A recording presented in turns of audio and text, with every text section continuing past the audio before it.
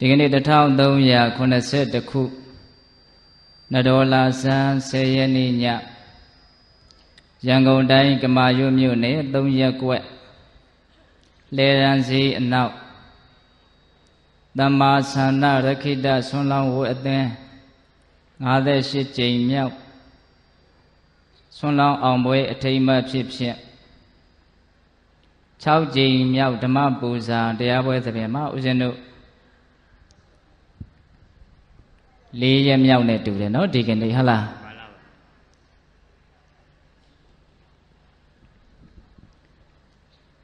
ပိသပေါင်းသူတော်ကောင်းတို့ကိုဦးဇင်းတို့ဒီကနေ့ည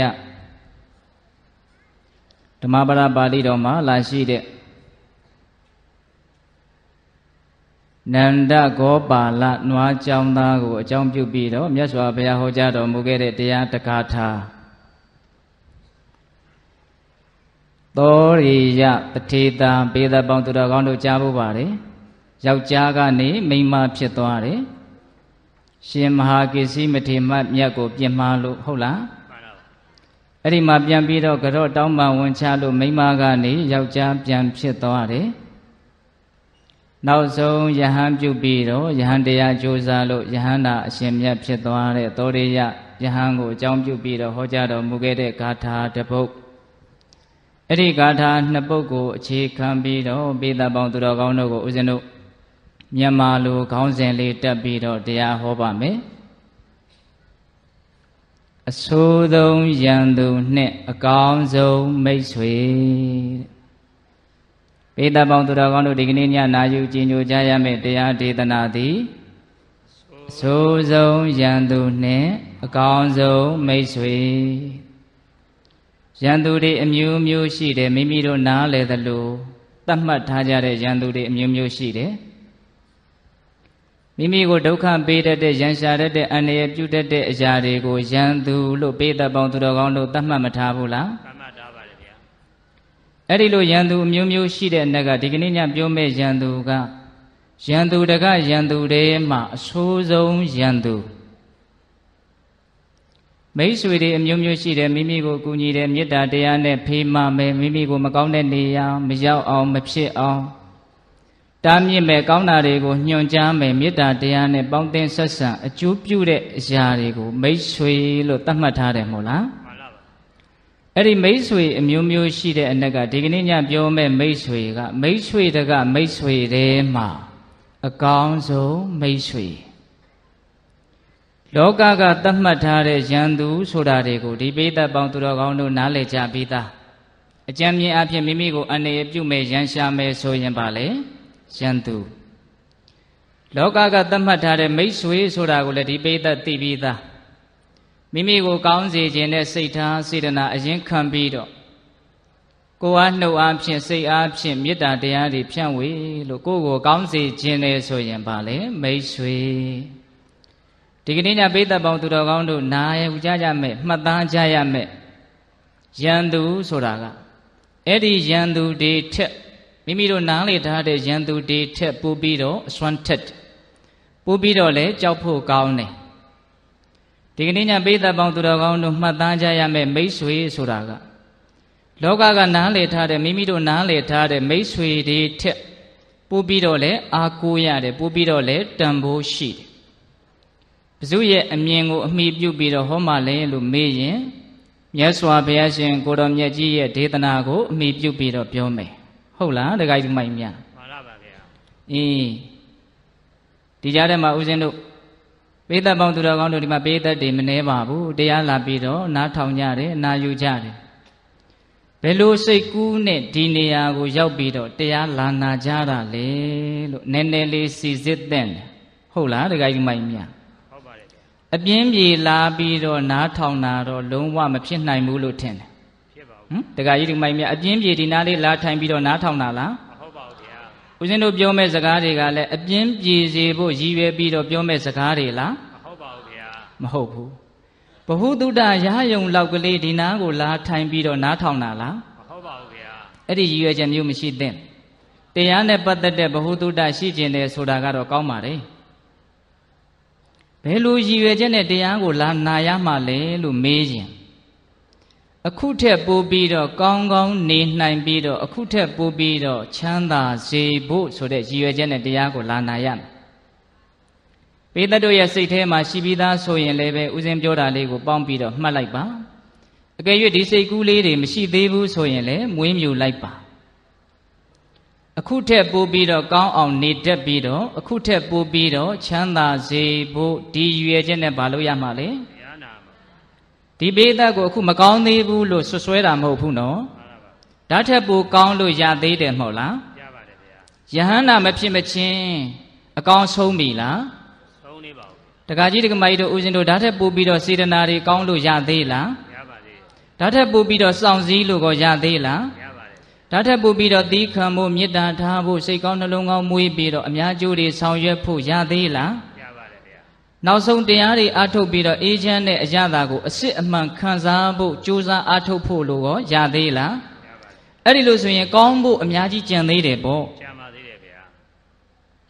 ကောင်းတဲ့လမ်းကိုအရှိကြီးသတ်မှတ်ထားလိုက်မယ်ဆိုရင်မိမိတို့ဘယ်နာလေးလောက်များရောက်နေပြီလို့ထင်တယ်လေကောင်းတဲ့လမ်းကြီးကိုအရှိကြီးစိတ်ထဲမှာခင်းထားလိုက် ငါဘယ်ကောင်းခြင်းလောက်များငါရောက်နေတယ်လေနောက်ထပ်ကောင်းဖို့ဘယ်လောက်ကြံသေးလဲအဲ့ဒီတော့ကောင်းခြင်းရဲ့အကျိုးတရားသည်ချမ်းသာပိုးပြီးတော့ကောင်းအောင်နေမယ်ဆိုရင်ပိုးပြီးတော့ချမ်းသာဖို့လုံးဝသေးကြတယ်တန်တရားမရှိနဲ့နော်ဘေးတကြီးသူတော်ကောင်းတို့ဟုတ်လားမှန်ပါပါပိုးပြီးတော့ကောင်းအောင်နေမယ်ဆိုရင်ပိုးပြီးတော့ချမ်းသာမယ်အခုချမ်းသာလာတဲ့ပိုးပြီးတော့ချမ်းသာမယ်စိတ်ထဲမှာပိုးပြီးတော့အေးချမ်းမယ် တရားပွဲလာပင်းတဲ့ဒကာကြီးကပြောတယ်ဦးသိရဲ့ငြိမ်အောင်ငြိမ်အောင်တရားဟောပါတဲ့သိကြိုက်တယ်အဲ့ဒီစကားကိုမြတ်စွာဘုရားဟောတာနဲ့ညီညွတ်လို့ကြိုက်တယ်လို့ပြောတာပိဋကကြီးဘယ်လိုဟောရမှာတဲ့လို့ငြိမ်အောင်ငြိမ်အောင်ပါဗျာငြိမ်အောင်ငြိမ်အောင်ဟောပါအဲ့တော့ပိဋကတို့မငြိမ်ဘူးဆိုတဲ့အဓိပ္ပာယ်မြန်တက်ရောက်နေသလားမသိဟမ်တက်ရောက်သလားမရောက်ပါဘူးဦးဇင်းတို့လည်းမငြိမ်သေးပါဘူး ငြိမ်နေဆိုတာဇန်နေပါတွေရနေမှငြိမ်တာဟုတ်လားမှန်ပါပါကဲပိဋကတို့ငြိမ်ပြီလားအပူတွေငြိမ်ပြီလားမငြိမ်သေးဘူးဆိုတော့စူပွက်နေတယ်ပေါ့မငြိမ်သေးဘူးဆိုတော့လှုပ်ရှားနေတယ်ပေါ့သူပြောတာလေးသိကောင်းတယ်နော်ဒါကြောင့်မိမိတို့လောကရဏနေနဲ့တွေ့ရင်မလှုပ်ရှားအောင်ငြိမ်အောင်ဆိုတဲ့ကြည်ရွယ်ချက်ကလေးထားပြီးတော့တရားနာရ လောကရန်တရားတွေနဲ့တွေ့ရင်စိတ်ထဲမှာအပူမီးတွေမတောက်အောင် ထိန်းနိုင်ဖို့ငြိမ်ဖို့ဆိုတဲ့စိတ်နဲ့တရားနာရဒီရွယ်ချက်နဲ့ဘုရားကတရားကိုဟောခဲ့တာပရိနိဗ္ဗုတောသောဘဂဝါပရိနိဗ္ဗာနာယဓမ္မံတေတိတိသောဘဂဝါဒုဘုရားရှင်ကိုတော်မြတ်ကြီးသည်ပရိနိဗ္ဗုတောကိုတော်တိုင်ကိလေသာအပုဒ္ဒအလောင်ဓာတ်တို့မှငြိမ်းအေတော်မူပြီးသည်ဖြစ်ဝါငြိမ်းတော်မူပြီးသည်ဖြစ်၍ ပရိနိဗ္ဗာနယတတ္တဝါတို့အားလေးငြိမ်းပါစေခြင်းလုံငါငြိမ်းအေပါစေခြင်းလုံငါဓမ္မံတရားကိုဒေတိတိဟော၏ဖះကဘယ်လိုရည်ရွယ်ချက်နဲ့တရားကိုဟောတာလဲငြိမ်အေးစေဖို့ဆိုတဲ့ရည်ရွယ်ချက်နဲ့တရားကိုဟောတာငြိမ်အေးတော်မူပြီးသောမြတ်စွာဘုရားသည်ငြိမ်အေးစေတတ်သောတရားကိုငြိမ်အေးစေဖို့ဆိုတဲ့ရည်ရွယ်ချက်နဲ့ဟောတယ်တဲ့ ဣတတော်မှတ်မိလားမှတ်မိပါတယ်တန်တော်သောဘဂဝါသမထာယဓမ္မံတေတိတိတန်တော်သောဘဂဝါထုဘုရားရှင်ကိုတော်မြတ်ကြီးသည်တန်တော်ကိုတော်တိုင်ငြိမ်သက်တော်မူသည်ဖြစ်၍သမထာယတတဝါတို့အားလိလောကရန်တရားတို့နှင့်တွေ့ကြုံသည်ရှိသောငြိမ်သက်ပါစေခြင်းလို့ငါဓမ္မောင်ငြိမ်သက်စေတတ်သောတရားကိုဒေတိတိဟော၏ငြိမ်သက်တော်မူပြီးသောမြတ်စွာဘုရား ရတာတွေနဲ့တွေ့လည်းပဲငြိမ်တယ်မရတာတွေနဲ့တွေ့လည်းငြိမ်တယ်နော်လာဘောအလာဘောရသောအာရသောလောကရန်၈ပါးကို ရှင်းပြစေရလိုလောက်အောင်ဒီပိဋကမနှိမ့်ကြဘူးလို့ဥစဉ်ထင်တယ်နော်လောကရန်တရားတွေနဲ့တွေ့ရင်လုံးဝပဂတိအေးချမ်းငြိမ်သက်တော်မူပြီးသောမြတ်စွာဘုရားသည်ငြိမ်သက်စေနိုင်အောင်ဆွမ်းဆောင်နိုင်တဲ့တရားတော်ကိုငြိမ်သက်ဖို့ဆိုတဲ့ရည်ရွယ်ချက်နဲ့ဟောခဲ့တယ်တဲ့ ဒါကြောင့်ကားဘော်ကဒကာကြီးပြောတာကိုဖះဟောတာနဲ့ညီတယ်လို့ဦးဇင်းကပြောလိုက်တာငြိမ်ဖို့ငြိမ်ဖို့ဟောပါဖះတဲ့အဲ့တော့ဦးဇင်းတို့ကလည်းငြိမ်ဖို့ငြိမ်ဖို့ရည်ရွယ်ပြီးတော့ဟောပါမယ်ပိဿပေါင်းသူတော်ကောင်းတို့ကလည်းငြိမ်ဖို့ငြိမ်ဖို့ဆိုတဲ့ရည်ရွယ်ချက်နဲ့တရားကိုနာရမယ်ဒီဒေသနာတော်ကိုထောက်ပြီးတော့မိမိတို့မှာသူတော်ကောင်းကြီးတွေစိတ်ချရလောက်အောင်မငြိမ်သေးဘူးလှုပ်ရှားနေတယ်ဟုတ်လားမှန်လားပါ သူတော်ကောင်းကြီးတွေစိတ်ချရလောက်အောင်မငြိမ်ချမ်းသေးဘူးပူလောင်နေတယ်ဆိုတဲ့အတိဘယ်ကိုတပြိုင်တည်းထွက်မသွားဘူးလားမှတ်တော်ပါဘုရားကငြိမ်မိသားငြိမ်မိသားတရားကငြိမ်စေတတ်တယ်ငြိမ်စေတတ်တယ်ဒါကြောင့်ဒီရည်ရွယ်ချက်နှစ်ပါးကိုဥထိတ်ထားပြီးတော့တရားကိုနာရ ပြင်းထန်သောယောဂသည်သည်ယောဂကိုပဂတိအနေထားရောက်အောင်ပျောက်ကင်းစေတဲ့ဆေးကိုမျောလင့်သလိုမျိုးတရားကိုအဲ့ဒါလိုတန်ဖိုးထားပြီးတော့မျောလင့်ချက်နဲ့နာရနောက်တခါကြီးဒီမိုင်းမြတ်မှန်လားပါရေနစ်နေသောသူသည် ဖောင်ကို တွေ့တဲ့အခါမှာစိတ်လှုပ်ရှားစွာ ဖောင်ပေါ်တက်ဖို့ကြိုးစားသလိုမျိုးတရားကိုကဲတင်ရှင်အနေတန်ဖိုးထားပြီးတော့နာရမယ် မျက်စိလေလမ်းမလို့ဒုက္ခရောက်နေသောသူသည်လမ်းမှန်ကိုတန်းတသလိုမျိုးတရားဆိုတာလမ်းမှန်ဟုတ်လားမှန်လားပါတရားဆိုတာအစွမ်းထက်တဲ့ဆေးတရားဆိုတာဖောင်းလို့နားလည်ပြီးတော့တရားကိုတန်ဖိုးထားပြီးတော့နာယူရမယ်ဟုတ်လားတခါကြီးမိုက်မြတ်မှန်လားပါဗျာဖះဆိုတာဘာကြောင့်ဖះဖြစ်သွားတာလဲတရားကြောင့်ဖះဖြစ်သွားတာ သူတော်ကောင်းနေအပူဇော်ခံရတဲ့လူတိုင်းကမျက်နှိုးတယ်တန်ဖိုးထားတယ်ဘာကြောင့်တန်ဖိုးထားတာလဲတရားရှိလို့ပိဋကဘာရှိလို့လဲတရားရှိတော့ပါဗျာအေးတရားနာခြင်းရဲ့ရည်ရွယ်ချက်တွေကိုပြောနေတာနဲ့10မိနစ်လောက်ကြာသွားပြီတပိသက်ပေါင်းသူတော်ကောင်းတို့ဒီတဲကိုအပြင်းပြေလားထိုင်တာလဲဟုတ်မယ်မထင်ပါဘူးဟုတ်ပါဘူးဗျာလောကီဘ ഹു တုတရယုံမျှလာပြီးတော့ထိုင်တာလဲဟုတ်ဟန်မတူပါဘူးဟုတ်တယ်ဆိုရင်လည်းအဲ့ဒီစိတ်ကူးတွေဖယ်ပြစ်လိုက် ဟုတ်လားမှန်လားပါဘယ်လိုစိတ်ကူးနဲ့တရားလာနာရမှာလဲယောဂသည်သည်ဆေးဝါးကိုမျောလင့်သလိုမျိုးရေနစ်သူသည်ဖောင်းကိုမြင်တဲ့အခါမှာလှမ်းဆွဲကင်တက်လိုက်သလိုမျိုးလမ်းမားနေသောသူသည်လမ်းမှန်ကိုမျောလင့်တန်းတသလိုမျိုးဒီစိတ်ကူးနဲ့တရားနာရမယ်ငြိမ်ဖို့ငြိမ်ဖို့ဆိုတာလေးလည်းမမေ့နဲ့ပေါ့ဟုတ်လားတခါကြီးမိုက်မြမှန်လားပါအေးတရားကောင်းစဉ်မှတ်မိသေးလားမှတ်မိ ပါတယ်ဗါတဲ့တော့သိုးဆုံးရန်သူနဲ့အကောင်းဆုံးမိတ်ဆွေပါဆိုးသုံးရန်သူနဲ့အကောင်းဆုံးမိတ်ဆွေရန်သူတွေမှာအဆိုးဆုံးမိတ်ဆွေတွေမှာအကောင်းဆုံးဒီကနေ့ညပေးသက်ပေါင်းသူတော်ကောင်းတို့မှတ်သားကြရမယ်ဘဝတန်တရားတစ်လျှောက်လုံးထိယူသွားမယ်လို့ဒီလိုရည်ရွယ်ချက်ထားပြီးတော့နာရမယ်ဒီတဘဝတင်တော့မကဘူးနော်တခါကြီးမိုက်မြမှန်လားပါတဘဝတည်းနဲ့ဒီလူတွေပြီးကြမှာလားပြီးသေးပါဦးဗျာတဘဝတည်းနဲ့ပြီးအောင်ယဟန္တာဖြစ်အောင်အားထုတ်ကြမှာလားဘာမထုံနိုင်သေးဘူးဟ မ်အမထုတ်နိုင်သေးဘူးအဲ့ဒီလိုဆိုရင်ဘဝတန်တရားတစ်လျှောက်လုံးယူသွားမယ်ဆိုတဲ့စိတ်ကူးမထားသင့်ဘူးလားထားတဲ့ပါလေဗျာထားသင့်တယ်တရားတော်ကိုမဟောကြားသေးခင်မနာကြသေးခင်မှာတရားတော်အလုံးကိုဟောကြားတော်မူခဲ့တဲ့ဘုရားရှင်ကိုတော်မြတ်ရဲ့အင်မတန်အေးချမ်းကြည်လင်တော်မူတဲ့မဟာကရုဏာကုံသိတရားတရားလုံးစုံကိုသိတော်မူမြင်တော်မူတဲ့သဗ္ဗညုတဉဏ်တိဟုသောပညာကုံ ထိုကရုဏာကုံပညာကုံနှစ်ပါးစုံတို့ဖြင့်ပြည့်စုံတော်မူတဲ့ဘုရားရှင်ကိုယ်တော်မြတ်ကိုယုံသိမြတ်တို့ရှိခိုးပူဇော်ကြအောင်စို့ကရုဏာတိတလဟရယံပညာပိဇောတဝိဟတမောဟဓမ္မံသာနရမရလောကကရုဝန္တိဒုက္ကတံဂတိဝိမု ക്ത ံ ကရုဏာတိတလဟရယမဟာကရုဏာတော်ဖြင့်အေးမြသောစိတ်နှလုံးလေးရှိတော်မူပါပေထသော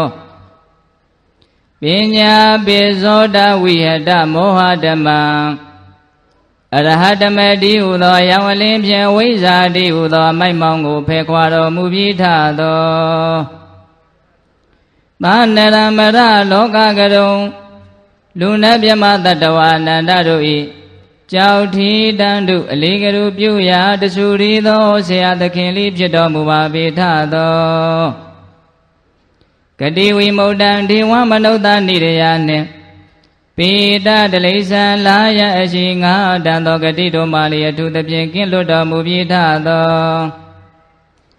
ဒုက္ကတံသတ္တဝါတို့ဟာအကျိုးများကြောင့်ဟုတ်မှန်သောစကားကောင်းကိုသာမြတ်ဆိုတော်မူပါပေထသော ဗုဒ္ဓသစ္စာလေးရတရားမြတ်ကိုလက်ပေါ်တင်တာဗရမ ्या ကဲ့သို့ပြတ်သားတင်တင်သိမြင်ပေတာဘုရားရှင်ကိုယ်တော်မြတ်ကြီးကို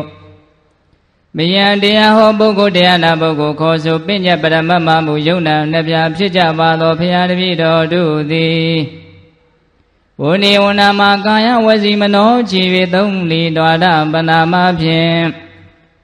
ဒုက္ခယူကျိုးလက်ဆုံးမူကားရှိခိုးဥညွတ်ပါ၏မြတ်စွာဘုရားသာဓုသာဓုသာဓုအဆိုးဆုံးယံသူနှင့်အကောင်းဆုံးမိတ်ဆွေဒီသောဒီတယတံကိရဝေရိဝါပဏဝေရိနံ မိစ္ဆာပဏိဟိတံစိတ်တံပါပိယောနံတတောကတိဒီသောခုသူတယောက်သည်ဒီတယံဘက်ဖြစ်သောခုသူတယောက်ကိုဝေရိယံသူတယောက်သည်ဝေရိနံယံဘက်ဖြစ်သောယံသူတယောက်ကိုယန္တံကကြီးရာချင်းကျိုးမဲ့သောမှုကိုပြုလျာ၏တတော်ခုသူယံပဲချင်းချင်းယံပြုကြသည်ထက် မိစ္ဆာပဏိဟိတံမှားရွယ်စွာဆောက်တည်၍ထအပ်သောစိတ်တံအကုသိုလ်စိတ်သည်နန္ထိုအကုသိုလ်စိတ်ပိုင်ရှင်ကိုပါပိယောယုံညံ့အောင်ဆင်းရဲအောင်ကရိကရိယပြုနိုင်ပေ၏ယံဘက်ခူးသူအချင်းချင်းယံပြုလို့ဖြစ်တဲ့အနေအထားမှာတွေးကြပြီးဆိုကြပါစို့ယံသူတယောက်နဲ့ယံသူတယောက် ယံပြုလို့ကောင်းတဲ့အနေအထားမှာတွေးကြပြီးဆိုကြပါစို့အဲ့ဒီလိုဆိုရင်ယံသူတွေဟာအချင်းချင်းယံပြုလို့ရတဲ့အနေအထားမှာစိတ်ရှိလက်ရှိဒုက္ခပေးကြမှာပဲမဟုတ်လားပြေးကြပါပါဗျာကိုယ့်ရဲ့ယံသူကိုမုန်းတီးနေတာဆိုတော့တနာတဲ့သဘောညှာတာတဲ့သဘောရှိပါမလားရှိပါဦးဗျာမရှိဘူးရနိုင်သလောက်အစွမ်းကုန်သူဆင်းရဲသွားအောင်ကြိုးစားပြီးတော့ဒုက္ခပေးမယ်မဟုတ်လားပြေးပါပါဗျာဘာဖြစ်လို့လဲယံသူဖြစ်နေလို့ ဟုတ်လားတခါကြီးမိုင်များမာရပါအဲ့ဒီလိုယံသူတယောက်ကယံသူတယောက်ကိုဒုက္ခပေးတာထက်ယံဘက်အချင်းချင်းဒုက္ခပေးကြတာဒီထက်မိမိကိုယ်တိုင်အသုံးမကျလို့နှလုံးသွင်းမှားယွင်းလို့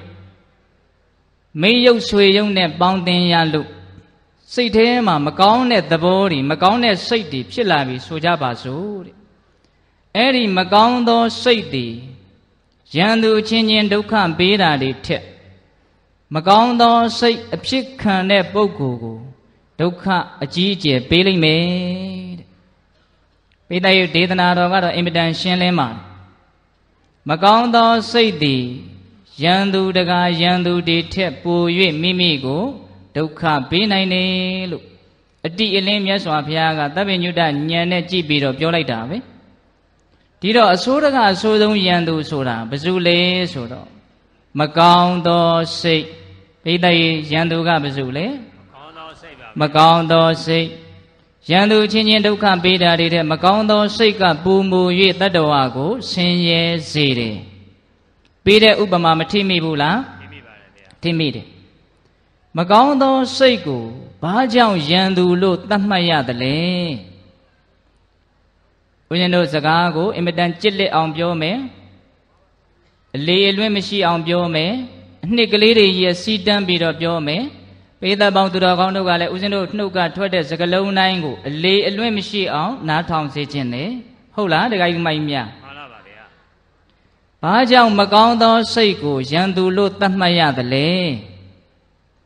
အကြောင်း၃ချက်ကိုဦးဇင်းတို့သက်သေထားပြီးတော့ မကောင်းသောစိတ်သည်ယံသူပါဆိုတာကိုမြတ်စွာဘုရားဘက်ကနေအတီအလင်းထောက်ခံမယ်ဟုတ်လားတခါကြီးမိုက်မြတ်မာရပါမကောင်းသောစိတ်ကိုယံသူပါလို့အကြောင်းပြချက်ဘယ်နှမျိုးပြမှာလဲသုံးမျိုးပါ၃မျိုးပြမယ်နံပါတ်1ဖြစ်ဆဲမှပူလောင်စေတယ်ဆင်းရဲစေတယ်ဒါကြောင့်မကောင်းသောစိတ်သည်ယံသူနံပါတ်1ဗါတဲ့လေဖြစ်ဆဲမှပူလောင်စေတယ်ဆင်းရဲစေတယ် အခုဖြစ်ရင်အခုပူတယ်အခုလောင်တယ်အခုဒုက္ခရောက်တယ်မိခဲကိုကင်လိုက်မိတယ်လို့မျိုးအစိတ်ကိုမျိုးချမိလိုက်တယ်လို့မျိုးအခုဗိုက်ထဲရောက်တာနဲ့အခုတန်းပြီးတော့ဒုက္ခပေးတယ်အခုထိလိုက်တာနဲ့အခုပူတယ်အဲ့ဒီလိုဖြစ်ဆွဲမှာကောင်းကောင်းကြီးဒုက္ခပေးနိုင်တဲ့အစွမ်းအချိန်စောင့်မနေဘူးနော်တခါကြီးဒီမိုက်မြစောက်ပါဦးဗျာရန်သူကမှကိုယ့်ကိုဒုက္ခပေးမယ်ဆိုလို့ရှိရင်လေ အကွက်ချပြီးတော့အခါအခွင့်သင့်ပြီဆိုမှဆင်ကြံကြံပြီးတော့သူကလုံမှာဟုတ်လားမှန်လားပါအခုမကောင်းတဲ့စိတ်ကအဲ့ဒါလိုအချိန်တွေပါတွေဆိုင်းသလားဆိုင်းပါဦးဗျာအခုဖြစ်ရင်ဟုတ်ပြီပါအခုပူတယ်အခုဖြစ်ရင်အခုဆင်းရဲတယ်ဒါကြောင့်ဖြစ်ဆဲမှာပူလောင်စေတယ်ဆင်းရဲစေတယ်တဲ့ဒါကြောင့်မကောင်းသောစိတ်ကိုအကြီးကျယ်ဆုံးယံသူလို့နားလည်ရမယ်နံပါတ်2မသေးခင်ဒီဘဝမှာကိုပဲမကောင်းတဲ့စိတ်တွေက သိပ်ပြီးတော့ပြင်းထန်လာပြီကြမ်းထမ်းလာပြီဆိုလို့ရှိရင်မသေးခင်မှာကိုပဲကြိုးပေးတယ်အဲ့ဒါကိုဦးဇင်းတို့စာပေကဒိဋ္ဌဓမ္မဝေဒနိယကံလို့သုံးနှုံးတယ်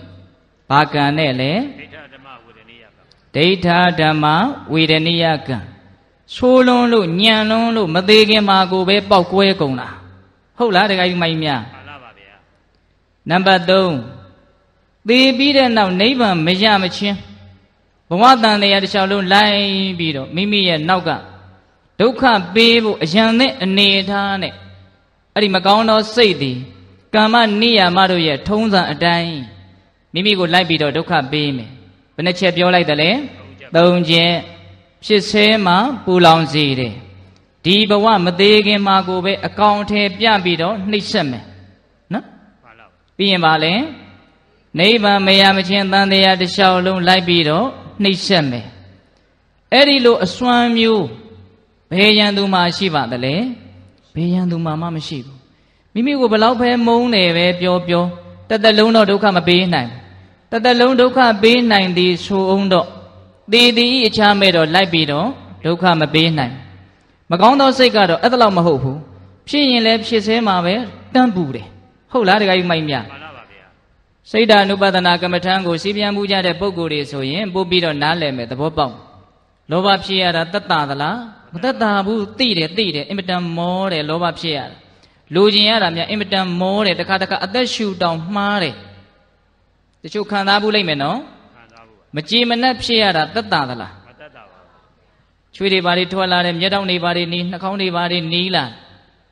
တချို့ကိုယ့်ကိုယ်ကိုယ်တောင်တတ်သေးတယ် တော့ဒေါသဟာဖြစ်လာတဲ့အခိုက်အတန့်မှာတတ်တာတဲ့သဘောရှိလားမရှိပါဘူးဗျာသူများကြီးပွားတာကိုမနာလို့စိတ်တွေဖြစ်ရတာတတ်တာလားမတတ်တာပါမတတ်တာဘူးအဲ့တော့ဖြစ်ရင်ဖြစ်တဲ့အခိုက်အတန့်မှာတောက်လျှောက်တန်းဘူးတယ်အစွမ်းပြတယ်ဦးဇင်းခုနတုန်းကဥပမာနှစ်ချက်ပြောလိုက်တယ်မိခဲကိုကင်မိတယ်လို့မျိုးအစိတ်ကိုမျိုးလိုက်ရတယ်လို့မျိုးလို့ပြောခဲ့တယ်မဟုတ်လားပြောခဲ့ပါတယ်အေးဒါကြောင့်နံပါတ်1ပါတယ်လေဖြစ်ဆဲမှာပူလောင်စေတယ် နံပါတ်2ဒီဘဝမှာတင်ကိုပဲအကျိုးပေးမယ်တဲ့သိပ်ပြီးတော့ကြီးကျယ်တယ်မိမိရဲ့မကောင်းတဲ့စိတ်ကိုမထိန်နိုင်မသိမ်းနိုင်ကြီးထွားခွင့်ပေးမယ်ဆိုရင်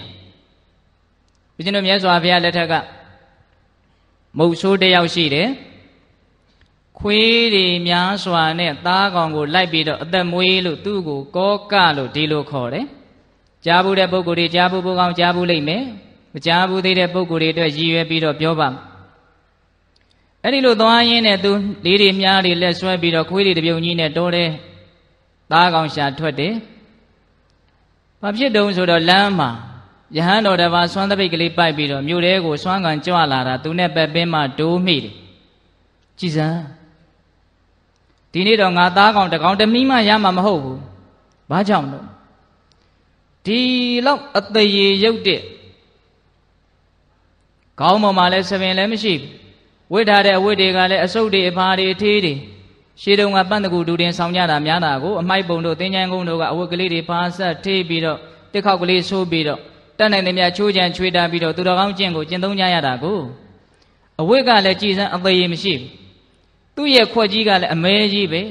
သူများပေးမှကြွေးမှစားရတဲ့ဘဝဒီလောက်အသေးရေရုပ်တဲ့ဘုံကံနေတဲ့လူကိုငါတွေ့ရတာဒီနေ့တော့သားကောင်တကောင်တမီးမှရမှာမဟုတ်ဘူးအတိတ်နမိတ်မရှိဘူး ပေးတဲ့အတိတ်နမိတ်ကိုယုံနေနော်ယုံပါတယ်ဗျာပေးတတ်တို့ကောယုံလားယုံပါဘူးဟွန်းမယုံဘူးတဲ့ကောင်းတာပေါ့ယုံတယ်ဆိုရင်တော့မကောင်းဘူးပေါ့ဟုတ်လားတခါယူမိုင်းများမှန်လားပါဗျာအဲ့ဒါနဲ့ကံအားလျော်စွာတိုးတဲ့ရောက်တိုးတဲ့ရောက်တဲ့အခါကျတော့တိုက်ဆိုင်မှုများနော်တကယ်ကိုသားကောင်ကတကောင်မှမရဘူးအင်မတန်စိတ်တူတယ်သူကအဲ့ဒီကိုတော်နဲ့တွေ့လို့အဲ့ဒီယဟန်နဲ့တွေ့လို့ငါသားကောင်မရတာ သူ့ရဲ့အတိတ်နမိတ်ကိုသူကိုယ်တိုင်ထပ်ပြီးတော့အတီးပြုတ်ပြီးတော့သူကသူပဲထပ်ပြီးတော့ယုံကြည်မှုတွေကလွဲမားစွာခိုင်မြဲသွားပြန်တယ်ဟုတ်လားမှန်လားပါအဲ့ဒီလိုနဲ့တောထဲမှာတခါစိတ်တွေတိုးပြီးတော့ညချမ်းကညနေချမ်းရောက်တော့သူပြန်လာဒီယဟန်ကိုပဲမျက်စိတွေကမထွက်ဘူးကံဆိုးခြင်းတော့အဲ့ဒီယဟန်ကလည်းဆုံးခံဆုံးဖုံးပေးပြီးတော့တောထဲကိုနေတန့်စင်ဖို့တိတ်ဆိတ်မှုကိုလိုလားလို့ပြန်ကြွလာတယ်အဲ့ဒီယဟန်နဲ့ပဲပင်မှပြန်တွေ့တယ် တွေ့တော့ကြည်စမ်းဒီလောက်အသေးရုပ်တဲ့လူငါ့ကိုတနေ့လုံးနှိပ်စက်တာအားမရသေးလို့အခုထပ်တွေ့ပြန်ပြီအဲ့ဒါနဲ့ဘာလုပ်တုံဆိုတော့သူ့ရဲ့မကောင်းတဲ့စိတ်တွေကတဖြည်းဖြည်းနဲ့အတိုင်းအတာကဘာဖြစ်လာပြီလဲကြီးလာပြီအဲ့ဒီမှာသူကအဲ့ဒီယဟန်တော်ကိုခွေးတွေနဲ့ရှုတိုက်တယ်ယဟန်တော်ကတကားကြီးဒီလိုမလုပ်သင့်ပါဘူးဘလို့မှပြောမရတော့ပြေးရတာပဲတပိတ်တွေလည်းကွဲအလဲလဲကွဲကွဲနဲ့ပြေးတယ်ခွေးတွေကနောက်ကလိုက်တယ် နောက်ဆုံးတော့အဲ့ဒီယဟန်တော်ကလေလက်ခုပ်တစ်ပေါင်လောက်ထိတော့ယဟန်တော်တွေဟာအမြင့်ကိုတက်ခွင့်ရှိတယ်ဆိုပြီးတော့သစ်ပင်တမင်မော်ကိုပြာကြီးပြာရတက်ပြေးတယ်အောက်ကခြေထောက်တွေတွဲလောင်းကြနေတော့ဒီလိုပြေးလို့လွတ်ရိုးလာမြားတန်နဲ့အောက်ကနေထိုးတယ်ဟိုဘက်ခြေထောက်ရုပ်သွားဒီဘက်ခြေထောက်ကိုထိုးတယ်ခွေးတွေအောက်ကတယုံယုံနဲ့သစ်ပင်မောင်ကယဟန်တော်ဟာမီးရှို့ထားသလိုမျိုးပူလောင်ပြီးတော့ချွေးတွေပါတွေပြန်တောင်းမှလို့လည်းမရဘူးအဲ့ဒီလိုဖြစ်ရင်းနဲ့ကံကြမ္မာအလှည့်အပြောင်းကလေးကလေ တကူလုံးပူလောင်ပြီးတော့ဆင်းရဲနေတော့ယဟန်တော်ကသူ့ခန္ဓာကိုယ်ပေါ်မှာပတ်ထားတဲ့ဧကတိကအောက်ကိုရှော့ကျသွားတယ်လုံးဝမသိလိုက်ဘူးဘေးပေါ်မှာကျသွားတာတုံးဆိုတော့အောက်ကမြားတဲ့နဲ့ထိုးနေတဲ့မုတ်ဆိုးပေါ်ကိုကျသွားတာအဲ့ဒီမှာခွေးတွေကယဟန်တော်ကျလာပြီဆိုတဲ့အထင်နဲ့ဝင်ကြိုက်ကြတယ်ဘလို့မှတားလို့မရဘူးအဲ့ဒါနဲ့ယဟန်တော်ကဟာဒုက္ခပဲဆိုတော့မုတ်ဆိုးလဲခွေးတွေကအများကြီးဆိုတော့သူခွေးတွေသူကြိုက်သူကသူလဲပြီးတော့ အဲ့ဒီမှာယဟန်တော်ကဒုက္ခပဲဆိုတော့တစ်ကိုင်းကြောက်လေးတွေပါလေးတွေချိုးပြီးတော့ခွေးတွေကိုခြောက်တယ်အဲ့ဒီတော့မှခွေးတွေကတို့တော့သခင်မှားပြီးတော့ကြိုက်မိပြီလို့သိပြီးတော့တောထဲကိုဝင်ပြေးကြခွေးတွေရဲ့ဘေးကလွတ်ပြီဆိုတော့မှယဟန်တော်ကကြောက်ကြောက်လန့်လန့်ဆင်းလာပြီးတော့သူ့ရဲ့သင်္ကန်းကိုလှက်ပြီးတော့ကြည့်တယ်သွေးတန်ရဲရဲနဲ့အသက်မရှိတော့ဘူးအဲ့ဒီမုတ်ဆိုးဦးသင်ကစဉ်းစားကြည့်တယ်ပေးသက်တို့လည်းစင်စင်စားစားပဲနားထောင်စေခြင်းပါလေ ခွေးဆိုတဲ့တတ္တဝါသည်အနံ့ကိုသိတဲ့နေရာမှာအင်မတန်ဆန်းကျယ်တယ်မဟုတ်လားကျဲပါလေကိုယ့်ရဲ့သခင်ရဲ့အနံ့ကိုအဝေးကြီးကသိတယ်ဒီခွေးကဒီသခင်ကိုမှားကြိုက်တာဒီကိစ္စလေးစဉ်းစားတယ်ကောင်းတယ်နော်တခါကြီးမိုက်မြမှန်ပါပါဒီခွေးတွေဘာကြောင့်ဖောက်ပြန်သွားတာလဲဦးစင်းတွေးမိတာလေပိသက်တို့လက်ခံခြင်းလဲလက်ခံကြပေါ့နော်သူ့ရဲ့ကြီးကျယ်တဲ့အကုသိုလ်စိတ်ကြောင့်ဒီခွေးတွေဖောက်ပြန်သွားတာလို့ဦးစင်းကတော့အဲ့ဒါလို့ထင်တယ်ပိသက်တို့သဘောတူလားဟုတ်တယ်ပါလေ အဲ့ဒါနဲ့ယဟန်တော်ကငါကြောက်မြန်သေရလေသလားသူတော်ကောင်းဆိုတော့ကိုယ့်ဘောမှာအပြစ်ဖြစ်မှာသိကြောက်တယ်အဲ့ဒါနဲ့ယဟန်ကလေးသင်္ကန်းကလေးပါပြီးတော့ခါပြီးတော့တခါတည်းခြုံရမ်းပြီးတော့မြတ်စွာဘုရားစီတုတ်ချေတင်တယ်မြတ်စွာဘုရားဒီရောက်တော့သူအံ့ဩစွာပဲရှင်ဘုရားဒီလိုဒီလိုဖြစ်တယ်ဘုရားတပည့်တော်ရဲ့သီလာမြန်ညှိုးနွမ်းလေသလားဒီတော့မြတ်စွာဘုရားကချက်သားသင်ရဲ့သီလဝိသုဒ္ဓိသီလစင်ကြယ်ပါတယ် လေးညာကိုပြစ်လိုက်တဲ့ဖုံနေဟာပြစ်လိုက်တဲ့လူရဲ့မျက်နှာကိုပဲပြန်ပြီးတော့တိုက်ခတ်တယ်လို့မျိုးကောင်းငင်ကိုမော့ပြီးတော့တတွေးထွေးတဲ့ပုဂ္ဂိုလ်ဟာသူ့တတွေးတွေဟာသူ့မျက်နှာပေါ်ကိုပြန်ကျတယ်လို့မျိုးသူ့ရဲ့မကောင်းတဲ့စိတ်ကြောင့်သူ့ရဲ့မကောင်းတဲ့အဖြစ်တွေဟာဖြစ်သွားတာသင်နဲ့ဘာမှမဆိုင်ဘူးပေတတ်တို့ဦးဇင်းတို့တွေလည်းစဉ်းစားကြရပဲနော်တခါကြီးဒီမိုင်းမြမှန်ပါပါ လေညာကိုမြန်လှည့်ပြီးတော့ဖုန်နေမြန်ကျဲမိနေသလားမစဉ်းစားသင့်ဘူးလားစဉ်းစားတင်ပါလေကောင်းငင်ကိုမြန်မော့ပြီးတော့တွေးတွေမြန်ထွေးမိနေသလားမစဉ်းစားသင့်ဘူးလားစဉ်းစားတင်ပါလေလူမှုဆက်ဆံရေးဆိုတာသိကျပြန့်တယ်နော်မှန်ပါကိုပေါင်းသိနေရတာထဲမှာမကောင်းတဲ့လူတွေလည်းရှိတယ်ကောင်းတဲ့လူတွေလည်းရှိတယ်မကောင်းတဲ့လူနဲ့ပေါင်းသိတဲ့နေရာမှာတတိထားဖို့လိုအပ်တယ်လို့ကောင်းတဲ့လူနဲ့ပေါင်းသိတဲ့အခါမှာလည်းပဲတတိထားဖို့သိပြီးတော့လိုအပ်တယ်နော်တခါယူမိုင်းများဟုတ်ပါလေဘာကြောင့်လဲ ကောင်းတဲ့လူကိုတကယ်လို့မြန်မကောင်းတဲ့စိတ်တွေမွေးခဲ့မယ်ဆိုရင်ပေတတ်တို့အပြစ်မကြီးနိုင်မေဘူးလားကြီးနိုင်ပါလေဗျာကြီးနိုင်တယ်ဒီတော့မြတ်စွာဘုရားကချစ်သားသင်အပြစ်မရှိဘူးဒီမုတ်ဆိုးဟာသူ့ရဲ့မကောင်းတဲ့စိတ်ရဲ့ဒဏ်ခတ်ခြင်းကိုသူခံရတာအခုမှဒီလိုမဟုတ်ဘူးရှင်းတုန်းကလည်းဒီလိုဆိုပြီးတော့ဦးဇင်းတို့ဇတ်တော်လေးတစ်ခုဟောတယ်လူငယ်တွေအတွက်အကြံဉာဏ်လေးပဲပြောမယ်ဗျာတခုသောဘဝတုန်းကဒီမုတ်ဆိုးဟာဆေးဆရာတစ်ယောက်ဖြစ်တယ် ဆေးစရာဖြစ်တော့သူဆေးလက်အိတ်ကလေးလွယ်ပြီးတော့ရွာထဲကိုလူနာလိုက်ရှာတယ်အဲ့ဒီရွာကလူတွေကံကောင်းတယ်တယောက်မှနာခြင်းဖျားခြင်းမရှိဘူးလူနာမရှိတာဆေးစရာအတွက်ဝမ်းသာစရာလားမဟုတ်ဘူးဒါမြင်ကျမကြီးတွေမကောင်းမှဝမ်းသာမှာပေါ့အဲ့လိုလည်းမဟုတ်ပါဘူးနော်ဟမ်လူနာမရှိတာဆေးစရာအတွက်ဝမ်းသာစရာလားဝမ်းသာစရာလို့လဲစိတ်ကောင်းနှလုံးကောင်းရှိတဲ့ဆေးစရာဆိုရင်တော့ဝမ်းသာစရာပေါ့ဟုတ်လားတကယ်ယူမိုက်များ စိတ်ကောင်းနှလုံးကောင်းမရှိတဲ့ဈေးစရာဆိုရင်တော့လူနာမရှိတာသူ့အတွက်ဘာစားမလဲလုပ်ငန်းပဲပြောင်းလိုက်ရတော့မလို့မျိုးဖြစ်နေတယ်ဟုတ်လားအဲ့ဒါနဲ့ဒီဆေးဆရာကလူနာလည်းတယောက်မှမရှိဘူးဘယ်နဲ့လုပ်မလဲစိတ်ပြက်လက်ပြက်ဆွေးလေကလေးလွယ်ခေါင်းကိုက်ဆိုင်ချအကြံထုတ်လာတယ်ပိဋကဘာထုတ်လာလဲအကြံထုတ်လာတယ်အကြံဆိုတာထုတ်ရင်ထွက်တဲ့သဘောရှိနောက်တခါယူမိုက်များ အဲ့ဒါနဲ့ရွာပေါက်ထွက်ရောက်ပြီဆိုတော့လမ်းစုံလမ်းကွာမှာကလေးတွေဆော့ကစားနေတာတွေ့တယ်အဲ့ဒါနဲ့သူကအမှတ်တမဲ့အဲ့ဒီကလေးတွေနာကြတော့ရက်ပြီးတော့ဘေးဘီကိုကြည့်တော့အဲ့ဒီကလေးတွေဆော့နေတဲ့ဘေးကတစ်ပင်ရဲ့ခွာကြားမှာခေါင်းထွက်ပြီးတော့အိတ်နေတဲ့မွေးတကောင်ကိုလည်းလူကြီးဆိုတော့လှမ်းမြင်ရတယ်ကလေးတွေကပုတော့မမြင်ရဘူးအဲ့တော့လူနာမရှိလို့ဆေးမကူရလို့ပတ်စံမရှိတာရဲ့ဒီကလေးတွေရဲ့ဒီမွေရဲ့ရောမှွေပြီးတော့ခေါင်းထဲထည့်လိုက်တယ် သူ့အနေတော့တိတ်ကောင်းတယ်လို့ထင်ရမဲ့သူတော်ကောင်းနေနဲ့အနေနဲ့ဆိုရင်တော့တိတ်ဆက်ဆုပ်ဖွယ်ရကောင်းတဲ့အကြံစိုးကြီးထွက်လာတယ်ဟေ့ကလေးတွေ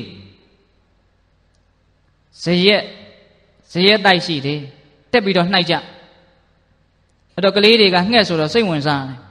အဲ့ဒီတဲ့ကလေးတွေကတွတ်တွတ်လက်လက်ကလေးတယောက်ကအဲ့ဒီသစ်ပင်ပေါ်တက်ပြီးတော့နှိုက်တယ်အဲ့ဒီကလေးကဖះလောင်းဖြစ်နေတယ်ဘုရားလောင်းဆိုတော့နည်းနည်းတတိရှိတယ် စမ်းရင်းနဲ့လှိုက်နှိုက်လိုက်တော့သူကတော့ကံကောင်းတာပေါ့လေမွေးရဲ့ခေါင်းအောက်ဆလေပင်ကိုပဲဆုပ်မိတယ်မွေးပြန်ကြိုက်လို့မရတဲ့အနေအထား